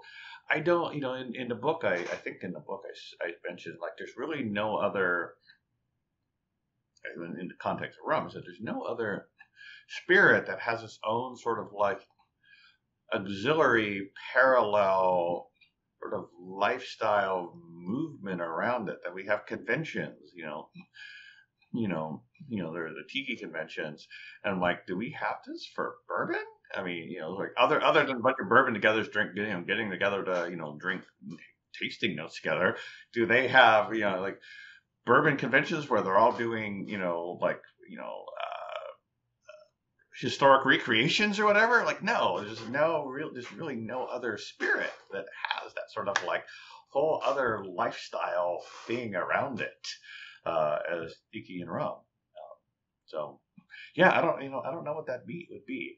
Um, I do think of tiki as a sort of cultural snowball. I've used that terminology where it's sort of like as it rolled through history, it picks up other sort of like incorporated other elements of the popular culture at the time. So if you think about it, you know, you know, 1934 Don Beach, Polynesia escapism, how the hell did we end up with the jet pilot? Right. or Saturn as tiki drink? Like, what was that? What was that? You know, that leap is like, what was that leap? And you're like, well, by the time you know 50s came around, we were in that like the jet age and and, and space exploration. Those like those are in public consciousness, and so they kind of rolled into it. Sort of like we incorporate that in, and even like even today, we are seeing you know people like Jason Alexander now incorporating. You know, we see Star Wars tiki stuff. This is a natural. I mean, some people hate it, but still it's natural. That sort of Star Wars is also escapism. Um, and even sort of like um, goth or dark thing like war and sort of like other sort of like horror horror and play. We sort of again these are things that like are in are in a popular culture or at least the people who are making geeky drinks are fans of these things and so they roll these things into it. So you sort of like grown from the simple like you know escapist polynesia to like this whole much bigger thing you know and it's, it's funny like we go to we went to TikiCon in Arizona the other uh, a couple months ago, and there's a whole class of people totally into tiki and they like the drinks, but they're not the center of it for them. But they have these like houses which are like like museums of like mid-century modern stuff and like artwork and exotica.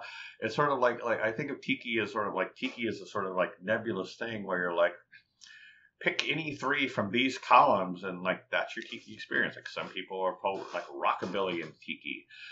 so everybody has their, you know, everybody's a tiki person has their own sort of like set of things that they embrace fully as part of it. And other things maybe they don't care as much about it. You know, like their you know lifestyle tiki. I I, I dig mid-century modern, but I'm not gonna go make that of my life. Um, for me, it's more cocktails uh, and stuff. But other people, it's like cocktails are a lesser part compared to rockabilly and mid-century modern, whatever those choices they make. So, for like choose your own adventure. Yeah, it's interesting that you mentioned that about the Star Wars and Tiki thing. Um, I forget if I mentioned this to you, but a few years ago, I made, um, you know, like these ice presses that you know are a few hundred dollars and they're blocks of aluminum that kind of come together. Yeah, make a spear or whatever. Yeah, I made that, but I machined it so it will press out a little version of the Death Star.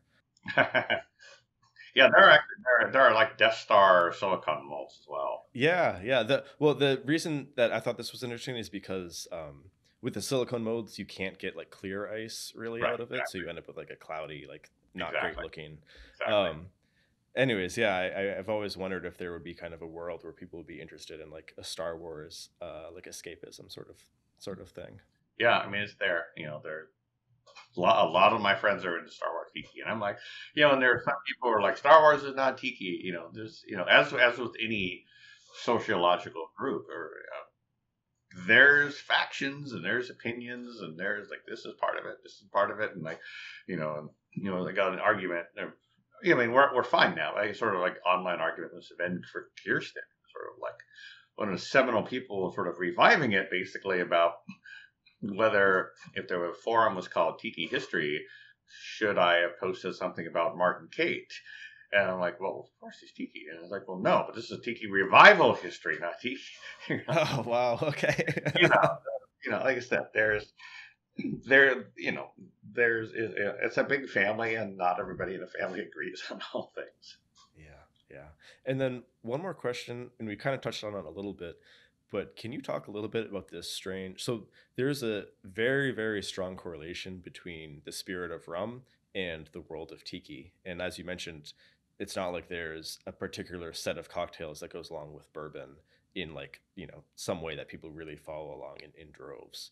What what's what's going on here? Why is there this correlation? Yeah, I mean, it's an interesting question. How did rum how did rum become the focus of it? Um, I think there's a number of different reasons. I don't think there's one sole reason. Um, amongst them, like one one one thing that could be true is that when um, Don started in '34, uh, just coming out of Prohibition, uh, American whiskey was basically was not being produced other than for medicinal whiskey purposes. so there was not um, there was not lots of cheap American three year, five year aged whiskey uh, at that point in time. However, um, Caribbean was not part of was not part of not part of you know U.S. prohibition, other Puerto Rico. Um, so in Virgin Islands, uh, but um, essentially like there was plenty of Caribbean rum you know that was now available to come in, and certainly cheaper. Um, that would have been cheaper, you know. And there's stories about basically, um, you know, retail or you know, wholesalers, distributors going like, if you want a case of our whiskey, you need to buy four cases of our rum that we're also selling. So, um, you know, that that story is set in conjunction with like the hurricane in New Orleans. Um, so, um, you know, there's one sort of an economic economic cost and availability may have been one aspect.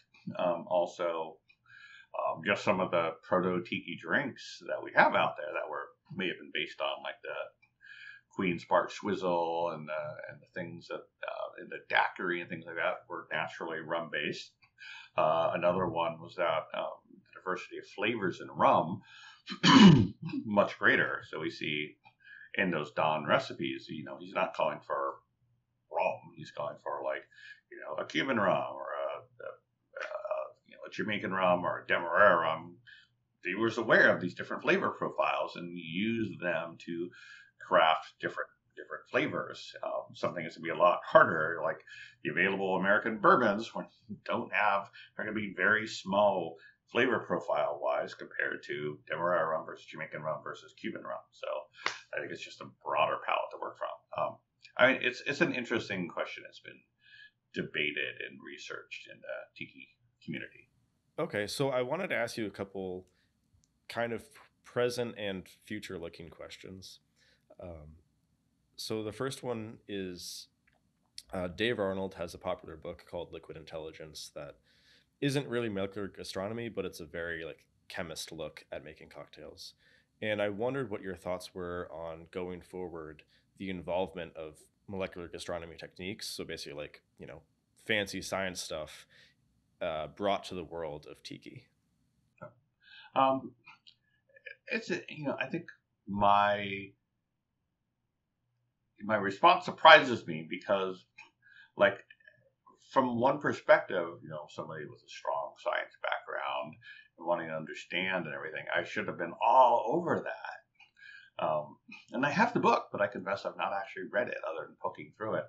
Um, there's, you know, and I and I love going to bars where they're doing that. Like if they're doing something interesting, they're making, you know, acid adjusting a, a juice or making your own interesting ingredients. I'm all over that. Like I want to to experience that. I will seek that out to see to see what's possible. But for whatever reason, I don't I, I just don't find myself wanting to do all the crazy stuff at home. Like and I think maybe it's a little bit of, of like um, if it was like it was like, oh, I can do this in five minutes, and I'll have enough to to uh, to make you know one drink. And if I like it, great. If I don't, that's fine too. I might do more of it, but it's, it's usually like, oh, you know, two hours and get buy this, buy this, have this equipment, all this stuff, and then at the end of it, you have a quart of this stuff, and now you're like, okay, so I made a drink, and maybe I tried it with something else, but now I still have almost a quart of this left. And at some point, like I have a refrigerator full of interesting experiments, and then they start going bad or whatever. It's sort of, it's sort of like it's a. If I, if I think if I worked at a bar, if like I was doing is I can make these experiments and I can you know bury bury it if it's not good or get get through it in two or three days if it's if it is good or whatever. It's just it's it's sort of I think it comes down to that the distinction between like what you know what home bartenders can realistically take on versus what a commercial bartender who operates at a different scale can take on. I'm not saying you can't do molecular gastronomy at home. I'm just saying like it's a big it's a big commitment for something when you're like you're probably making drinks for you and your wife or you and some friends and you have all this other stuff that sort of like lingers on afterwards so i think that's sort of it's, it's you know practicality or or whatever you want to call it So you know, it's not like I've never done that stuff. Like I've made the the um, you know various the syrups. I'm forgetting the name of it, like the thickening agent. you know, you know, and I've played around with stuff like making shrubs and that kind of stuff. But I'm not not going to crazy like. Like do I want to spend eight hundred dollars for a centrifuge? You know, right. yes, I absolutely would. I would absolutely love the centrifuge by pineapple juice, but eight hundred dollars want that? and then it's like, oh, and I also don't have a laboratory with infinite space to store all this stuff. So it's it's more of a practical thing. Fair enough. And I've seen you say before, uh, this this is just out of curiosity. I've seen you say before that you know you have a lot of respect for people that you know run bars, but that you wouldn't ever do it yourself personally. Is that because of the time commitment involved? Uh, well, partially time commitment is more like so much is out of your control. So, and like I, I have lots of friends who run bars, and I will go spend my money with them, enjoy them, and support them.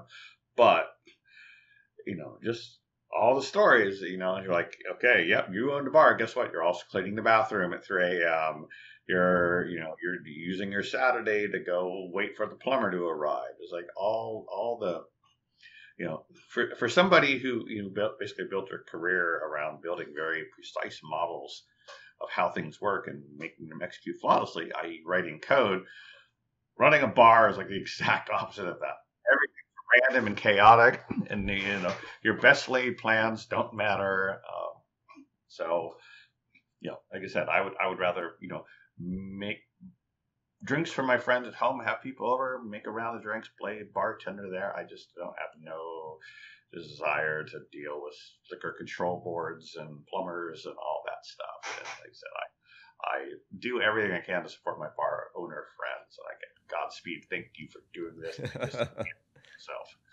So another question you wrote, you know, a really great book which you've talked about, which is Minimalist Tiki, and certainly in the first part of the book you talk about you know notably kind of like 30 of the most you know the the 30 cocktails that really represent tiki which is hard to do because there's hundreds if not thousands. And you talk about what's the minimal amount of equipment and involvement you need to sort of do this reasonably. On the other end of the spectrum you could kind of call it maximalist tiki. And i wonder if you have any ideas on kind of no holds barred what would be you know i give you anything you want what would I kind of be looking at for the you know biggest and best tiki experience? It's an interesting question. Um, people, you know, I, I hear maximalist tiki said all, all the time, and it's also and it's often um, phrased as you know like oh you know six different rums and 14 ingredient cocktails and I think there's one recipe in our book that has either 14 or 17 ingredients. But um, the thing is, is that at some point, you know, when you start going to the, if you're talking about about Maximus Tiki, meaning um, the most crazy and exotic ingredients, at some point, um, if it's just like sheer number of things, then then it's sort of like they it's some they all sort of morph into something vaguely tiki like, but you know the, the value of a quarter of an ounce of, of of seven different juices and a nine rum blend, it all just sort of gets lost. Like my from my perspective, you know, uh, you know, there's like kind of a sweet spot, like six six ingredients. You can like each ingredient can play its role, and you can tell what it's doing, and you can enjoy it and you create something really harmonized, you know, and it could be three ingredients. Like a daiquiri is a, a beautifully made daiquiri it can be wonderful. Or, you know, sometimes a nine ingredient drink is, is also amazing. But like I said, most of the time when you start seeing like, oh, I used, you know, five different rums in this one, I'm like, I, you know, I can't tell any of them. I can taste it. I can't tell you any of them. There's no distinct. so in that regard, I would say um, if you look at enough to mention maximal tiki just doesn't make sense. And sort of, can you do it? Yes. Just you know, users are like, yes, you know, like I can do dumb things, but it doesn't mean it's a good idea. Um, if you if you take maximalist tiki to mean um, super crazy exotic ingredients, you know, so maybe you make the most, you know, awesome. Uh, I've used this sort of like uh, uh, uh pine nut oh yeah, things like barrel, yeah, barrel like barrel aged banana foam, type of stuff, or pine nut infused fat washed orgeat or something like that. These crazy ingredients. It's sort of like if you want to go that route, if you want to make it, and if it tastes good, by all means, go for it. Um, if, if you can if you can make it, you can make it reliable and it tastes good and it's fun. By all means, uh, if you do all this crazy stuff and you're like, I don't know, I could have just used coconut cream or something like that. Like again, like just because I can doesn't mean I want to. So, um, you know, and, and, and I said, and I know, you know, it's funny, like I, I'm part of a, a group of people here in New Orleans, a little club of, of, of guys who, and, you know, women can play too in there.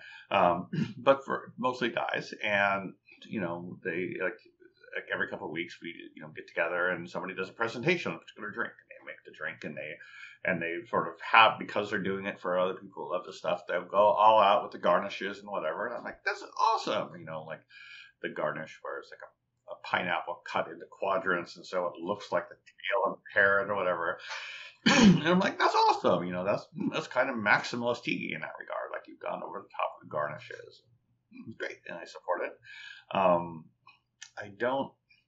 I don't know that I'll ever write a maximalist book. it's sort of like like or like just because you can doesn't mean it's it's better than just making you know and and the thing about you know I'll use this opportunity to clarify is the point of maximalist tiki or minimalist tiki. Some people have you know said like oh you know it's like you know that that you know minimalist tiki is like pog juice and rum you know it's no, minimalist tiki was never about like you should only make ingredients or tiki drinks with four recipe or four ingredients. It was never that. It was literally just like I want to get you going. Like tiki is intimidating, it's overwhelming. You think like, where do I start? I don't have all these things, and I'm kind of like, I'm going to give you. I'm going to try to present to you as a things you should buy first, things you should acquire first, things to focus on first. And it's funny, like I'm not you know, like you know, if you look at the chart that's in this book, it's got like four juices and six types of rums and four types of syrups. And the other thing, you're like, it's like 30 ingredients in there. I'm not going to tell you that that's a small working set. Uh, I'm not, but I'm going to say like, start with these 30 instead of trying to worry about the 200. Like, start here, learn, figure out if you like this stuff, enjoy it with this, and then by all means, go nuts look behind me. I don't. I have I have more than six bottles of rum, and that's fine. That's because I'm like I enjoy this, and I decided to go down that path, and I you know I can do this. But I'm saying you don't have to do this. You don't have to have this to enjoy a bunch of classic tiki cocktails. So I'm just saying like start here. I'm sort of giving you the the hard won wisdom of like me who went out and bought, you know, macadamia nut liqueur. Like, what am I going to use this in? I'm like, oh, that one drink, and now it's on the shelf, and I've never touched it since. So it's yeah, it's just sort of like like do this. Don't worry as much about that. That's all it is. That's all minimalist tiki is supposed to be. Yeah, it's interesting because there's I, I've read online people that are somewhat older than me that have reviewed your book and said like, oh, like this is amazing. This is what I wish existed when I was just getting into this, and it was all you know confusing. And it's interesting being on the somewhat younger side because this resource does exist by the time that I'm just getting into it. And it's like, wow, this is like so helpful. It's very like, it's just like a very nice like ramping into the things that are interesting. So I'm a huge fan of it. Yeah, I mean that was sort of my, I, you know, like at Microsoft, somebody would talk about like the superpower. What is your superpower? You know, what thing you do well?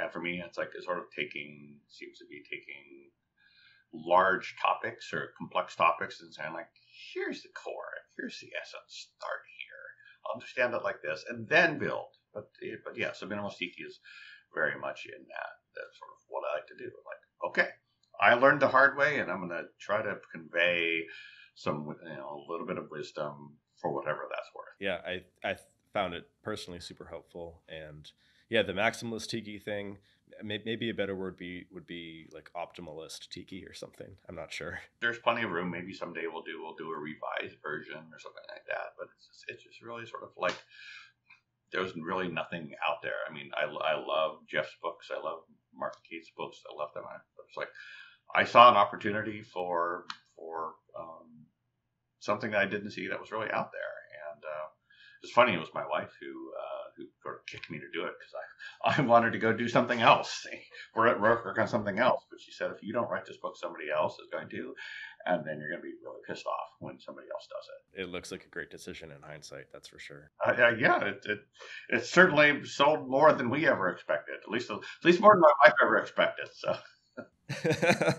I knew there were a lot of tiki people out there who who would love something like this. So just out of curiosity, what do you um like? Do you individ- Do you like mail out these books yourself? Yeah, yeah. We uh yeah. Basically, it's the only self distribution is the only sort of the only way to retain retain any sort of reasonable profit margin. You know, we've we've looked at it from the perspective of uh, you know selling versus Amazon or online retailers, uh, we and and in fulfillment centers, and the reality is like it's sort of like you know, if you, if you want to actually make money at this, short of short of selling, you know, hundreds of thousand copies, you kind of have to own the entire the entire chain. So right. Well, so how did you figure out where to get? Because the actual book itself, yeah, I brought it along. The the book itself is is is it's beautiful. Like the heart that's a nice hardcover, the pictures are stunning, the pages feel nice. Like it is I have like several hundred books, you know, okay, in college a long time, like what a surprise, but like how, was that difficult to get it made the way that you like it? Uh actually no, not at all. Um so we so this is this is um the brief version story is we were, when we were first looking at self-publishing, we we were um, they're like, oh, print on demand. And my wife, who used to work in publishing you know, decades ago, was like, no, it's not going to work anymore. Long story short, uh, there was a bourbon writer, a famous bourbon writer, uh, Chuck Cowdery, who said, like, look at a print broker. And we were like? Okay, what's a print broker? And turns out there was one who was actually very close to us. And they basically, uh, they are essentially intermediaries between people, self-publishers, and the actual big commercial printing presses that, you know, like a like professionals use. So, uh, you know, like, like, if you go to a restaurant, like I'm like, oh, they have their own book, and they sell it at the restaurant, and it's a beautiful hardbound book, probably through a print broker. So this is actually printed in South Korea. Um, and you know, we picked paperweight, you know, the cover, like we literally specify everything exactly to what we want. And we're like, okay, we have, I mean, not that we don't have a budget, but we're like, we want this to be awesome and, and look just as good as any other top quality book out there. So, you know, it costs us more to print it than you know a paperback, but you know, customers love that. So.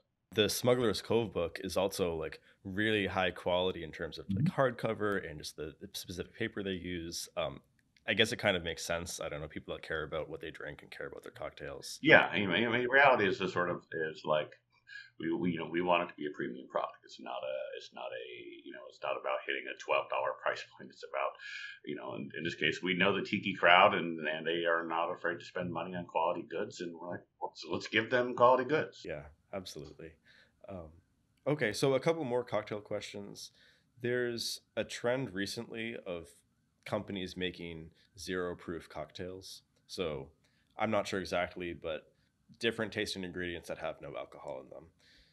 What are your thoughts on this as it pertains to tiki cocktails? I mean, I think it's great. I think that um, that tiki should be inclusive of people who can't drink or don't want to drink or or what have you. And I think there's, I think more so in tiki than with other cocktail styles, there is opportunity to do amazing no ABV cocktail, low ABV or no ABV cocktails. Uh, I mean, the ingredient, I mean, the, the palette that tiki has to work with. Um, yeah, the it's I, I love I love watching a bar when to see when somebody asks for an for a non-alcoholic tiki drink. I love seeing what they do, and I can you know not, rarely does it surprise me what they do, but I still love to see like how they think about it. You know, it comes back to that same you know, it's the pattern of the sweet and sour. You know, it's usually some types of cool juices, you know, pineapple juice or guava juice or whatever, and lemons or limes, uh, passion fruit. Um, if you can syrup, if you can take a tiny bit of alcohol, uh, like Angostura bitters. I mean, literally, you know, like, I mean, believe it or not, my my my during the day drink when I'm just sort of sitting here doing work um, I will just grab a big old, big old uh, cup of crushed ice and um, like heavy five dashes of heavy dashes of Angostura bitters and uh, pineapple juice, fresh squeezed pineapple juice. Pour that over there, like pineapple juice and Angostura together. Lovely. I will drink that all day. Uh, I can also, you know, blend a little bit with um, carbonated water to sort of give it a little bit of a like acidic edge, you know, a little tartness to it. Um, there's all sorts of fun things you can do to make no ABV cocktails that are that are that taste good or interesting. Use spices, you know, cinnamon syrup. Is you know, I think that's great that um, that people can participate in it without having to, you know, have you know, have, you know three ounces of overproof rum. Right. yeah. Yeah. It's um. I think it can be additive, not you know, not it's not a zero sum game. So the people that want to drink alcohol can, uh, and those who don't, you know, don't. I think that's fine. Um, there is from a chemistry perspective you know there's just simply some compounds that you're able to dissolve with alcohol that you you know can't with just water um, but i don't think that there's any risk of that yeah i mean like i said angostura angostura bitters is amazing uh, tiny i mean it's it's 44 or 47 percent alcohol but you know usually a dash most, most people are like oh that's you know it's fine so much flavor packed into that and you can do non-alcoholic bitters as well but like Angostura is just so damn good. From your book, I grabbed the recipe for an Angostura colada. Yeah, I still get like I, I at some point wrote an article, like basically an article like yes, Angostura bitters can be a base spirit. It's strong enough, you know, and people like oh like no, it's it's awesome. There's like four there's like four recipes in the book that have uh, at least half an ounce of Angostura bitters. Um, and like I said, trick the trick is to to uh, figure something that was sort of like oppose that extreme bitterness. Usually, you know, like orgeat and coconut cream are two sort of ones that work or work well at that. I was concerned. I had no idea what to expect, but it was really a delightful drink. Yeah, and it's also it's also a lot of some of the objections. Like, I have a four ounce bottle of Angostura bitters. I'm going to use the. no, you buy the big 16 ounce bottles. I, I literally have several bottles. Like I, I keep three or four 16 ounce bottles of it on hand. So and no, they're not paying me to promote it. okay. Um, so another cocktail question. Tiki is known to be like very, um, you know, it's, it's very high on the glassware and presentation and garnishes. There's a trend, another trend recently, especially you know accelerated due to COVID, of companies selling canned cocktails. Um, and I recently saw that Rumba in Seattle is selling a few let me see. They have a Mai Tai, uh, an old fashioned, and a couple others that they sell that they are selling in cans.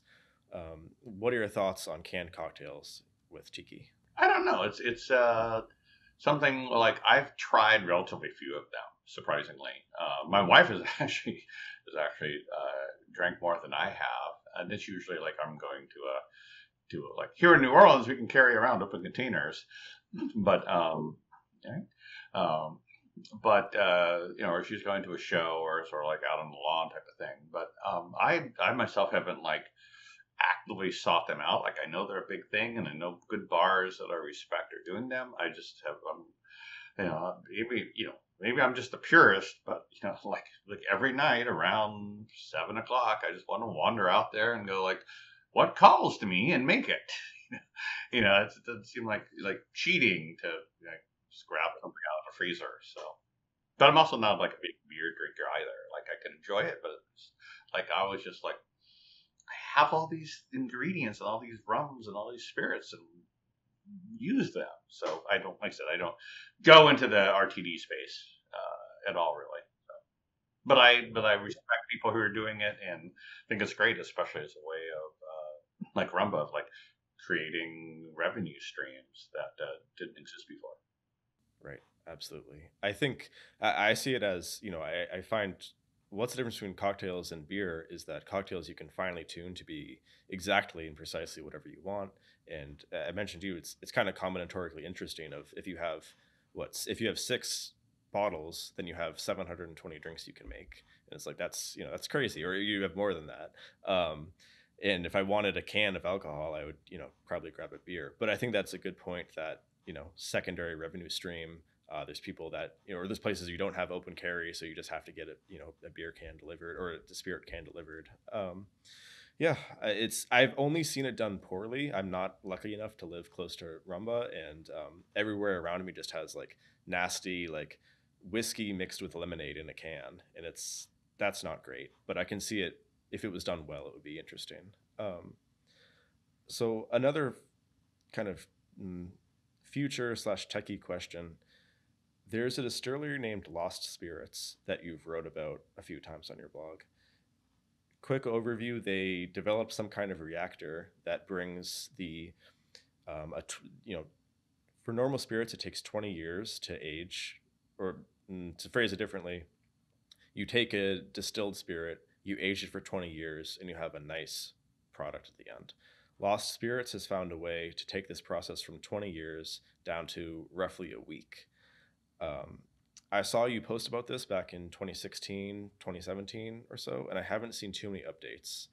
Do you know where that process stands? Yeah. So, um, you know, full disclosure, Bryan, Bryan Davis and Bryan and Joanne uh, Haruta, they're good friends of mine. Um, uh, I haven't talked with them that much recently, just because all of us have been super busy with our stuff. But um, but yeah, Bryan, um, Bryan's Bryan's an interesting character. I love chatting with him. He is one of the most uh, um, people that I love. Just like watching his brain work.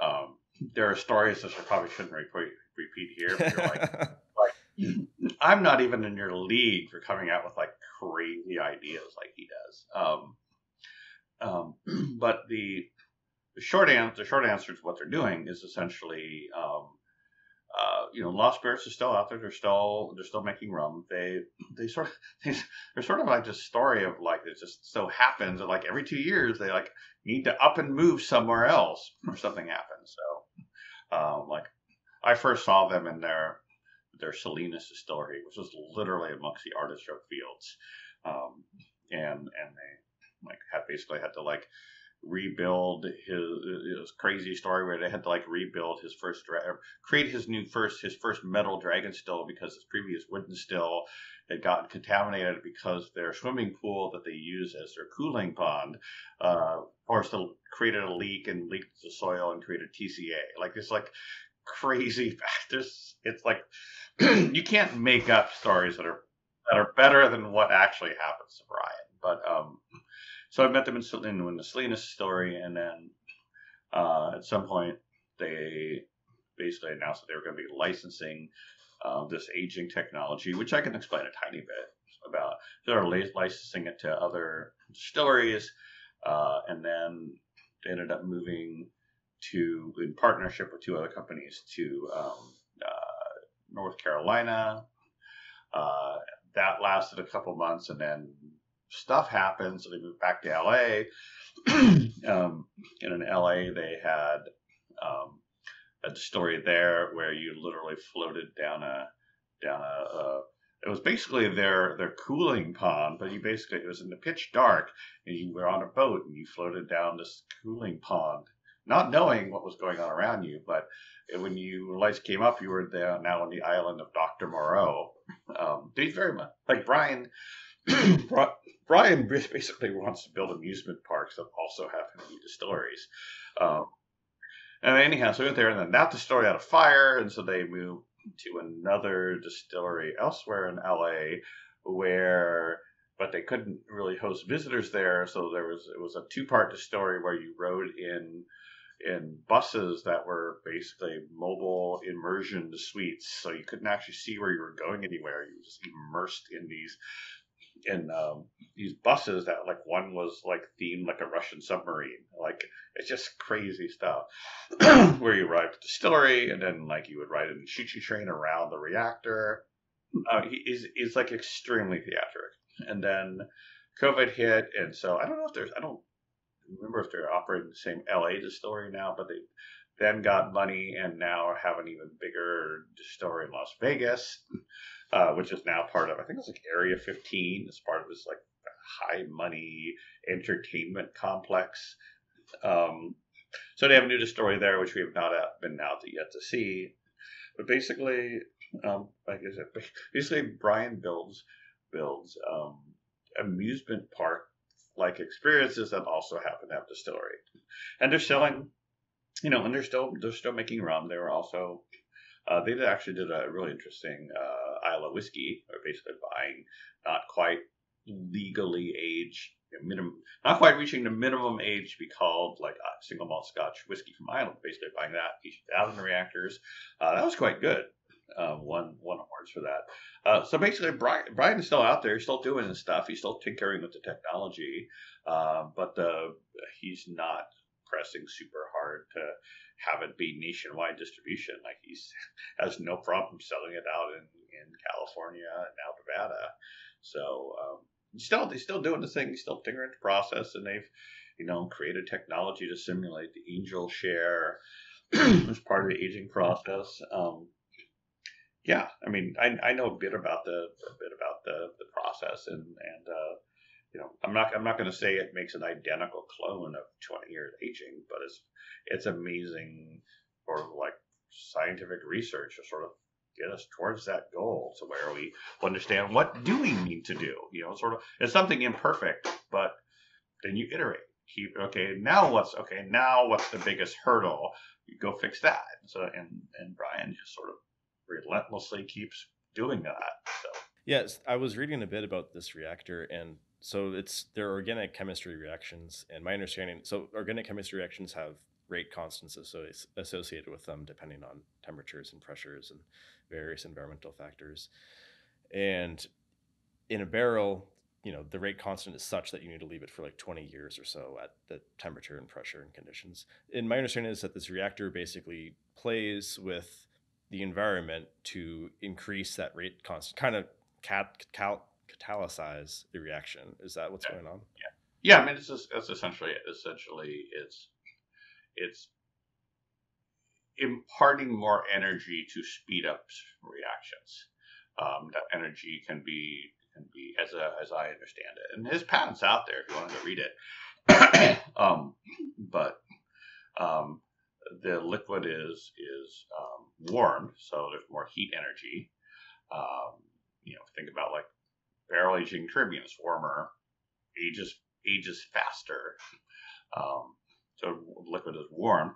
Uh, also um, blasted by light, and the light is not you know like light of particular frequency or frequencies uh, in particular directions, whatever. Um, but it's not. I don't think the light is so much for the spirit itself, but the wood in there. There's literally they take pieces of, of oak, char them just like as if they're in a barrel, and those basically sit in a cylinder inside, and so that that or basically inside of the spirit.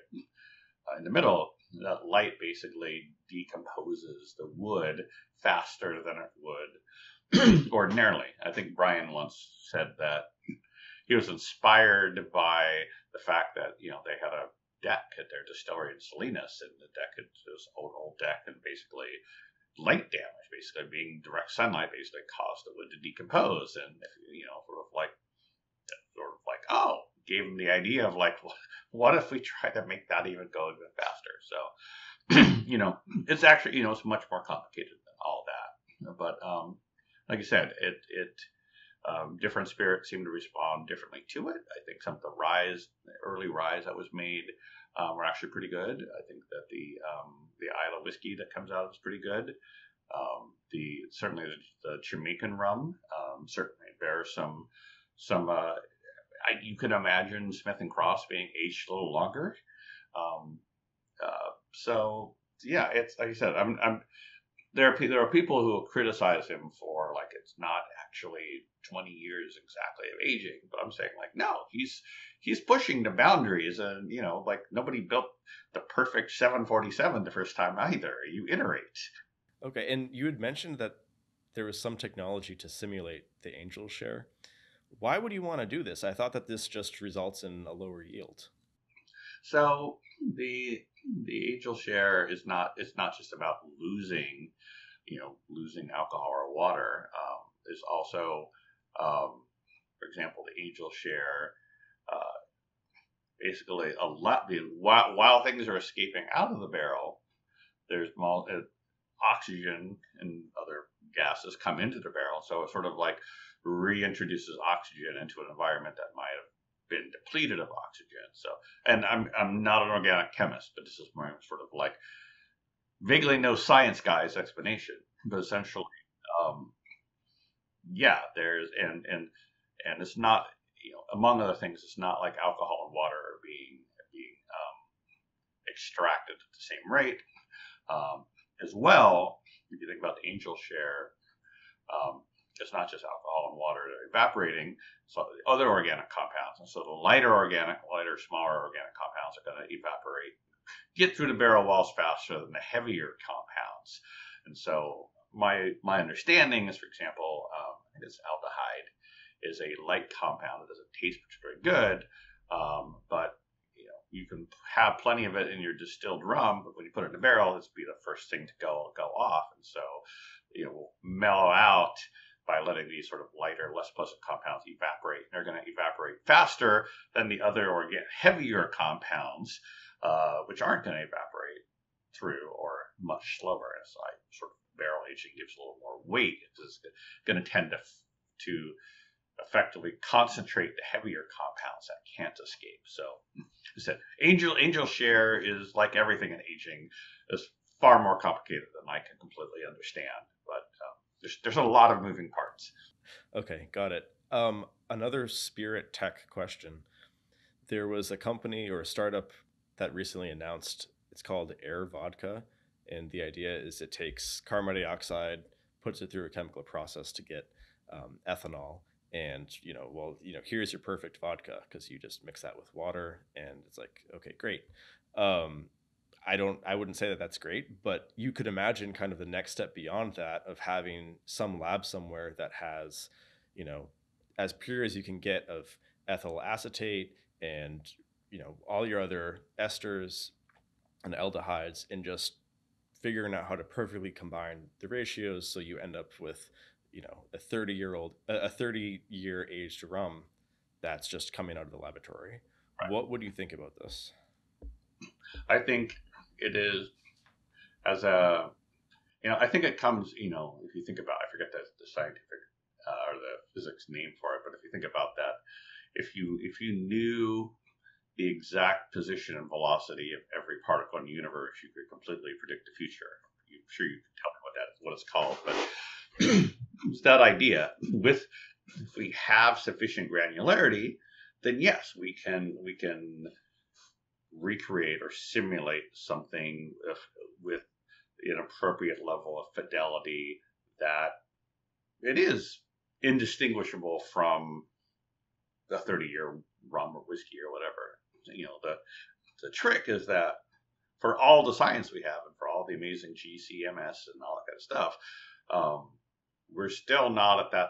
At my understanding is we're still not at that resolution and and uh, ability to concoct exact the exact compounds and exact ratios. We still don't have the granularity necessary to create that. Like our our, our noses and our tongues are more still more uh, more fine grained than what the best you know GCMS data can give us. And so you know, it's sort of like you don't know how much is tiny was one element that may be in very small quantity but is actually impacting the flavor, or this element in conjunction with another element create a third flavor. Um, but that they seem like, well, it's you know 0.001 percent of it. But if that's the one that flavor, then it matters. And so, you know, you know, I, I sort of think of it as like um, uh, like fast Fourier transforms, which I haven't really thought about in 30 years, but it's that notion of like any any sort of waveform can ultimately be decomposed into some period or some some ratio and number of sine waves and whatever. Sort of like, well, when we get the right granularity for that, yes, we can we can recreate that that wave exactly. But uh, you know, I don't feel like at this point we're at that level yet. Will we be there in ten years? Maybe, years? I don't know. You know, like I said, as a theoretical question, I believe it's absolutely possible. As a practical question, I don't know that we're anywhere close to that yet. Yeah, I remember, and I only got into the very beginnings of it. But for example, in my under organic chemistry classes, I went into it with the notion of like, yeah, well, you know, it's just you just synthesize things and it's very easy and you know it's perfect. And in reality, it's like it's such a mess and like your yields are like in the like this like sub percent level for a number of reactions and like everything is like, well, you know, it's just dominated by you know your rate constants or you have equilibrium where you just can't push reactions all the way through or, or you have to go to some extremely high temperature. And it's like chemistry is hard. Like physics is just that's why I got into physics. It's like you know, it's straightforward. Exactly. It's a, yeah, it's a far simpler. It's is, this is how I got got in. Why I got out of physics into programming is because like at least in programming, it's possible for you to understand the entire world. That you like we designed the chip so we know exactly what the instructions are. We know exactly how they operate, and and putting aside you know, stray neutrons or whatever, flipping a bit somewhere within that re- realm, we can literally understand everything. We can can actually predict the future because there's no randomness in that. And um, but yeah, physics is sort of like every you know every time you learn something, like ah, but this is just a simplified model of something more complicated. And and so like programming is like this is a convenient off ramp that happened happened to do very well for me. But yeah, I guess I still think of a scientist that way. It's like yes, conceptually, it's just it's just a it's a it's a you know it's an organic solution in equilibrium. But like I said, go back and look at the like the research papers on rum flavors. You're like, oh, there's like 370 different identified compounds, and we don't know what's not listed there. You know, it's not like to pick the top five. It's like the, the, the long tail matters. Mm-hmm. Yeah, absolutely. Yeah, the, the long tail, it's like you understand 95% of it, but the 5% is the part that is the most important. Yes, a lot of my life is long tail type stuff. uh, um, okay, so looking forward broadly, where do you see the worlds of rum and also tiki going in the next three to five to ten years? Oh, oh I hate these type of questions.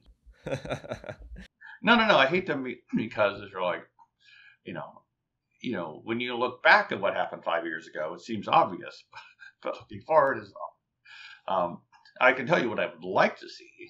I would like to see um, rum continue to elevate. Like I, at this moment in my life, I can imagine me spending decades helping to try to elevate rum to get it to that point where it's regarded as multiple distinct spirits, each with their own um, quality and tradition, uh, as what we consider the top bourbon, Scotch whiskey, whatever. Um, so I would like to see continue to see rum elevate. Um, you see strong signs of this already in that suddenly the the number of rums we have good unique different rums we have available now is compared to five years ago it just blows my mind the fact that you know five years ago i thought oh well maybe if i'm lucky someday i'll get to try a sample from like of Hampden DOK you know that high ester jamaican i'll get to try a sample of this from ian a shear uh, and then, you know, at some point they sent me a small sample and I was like ecstatic. And I was like, okay, I've reached a pinnacle of like, this is like, can't be more insider. And now there's like five different versions of it for sale. Some of them age, you know, like just what, what, you know, the independent bottlers, um, what they're putting out there and seeking out new things, interesting blends and single, you know, single distillation stuff. Um, stuff is unimaginable 10 years ago that these would now be available.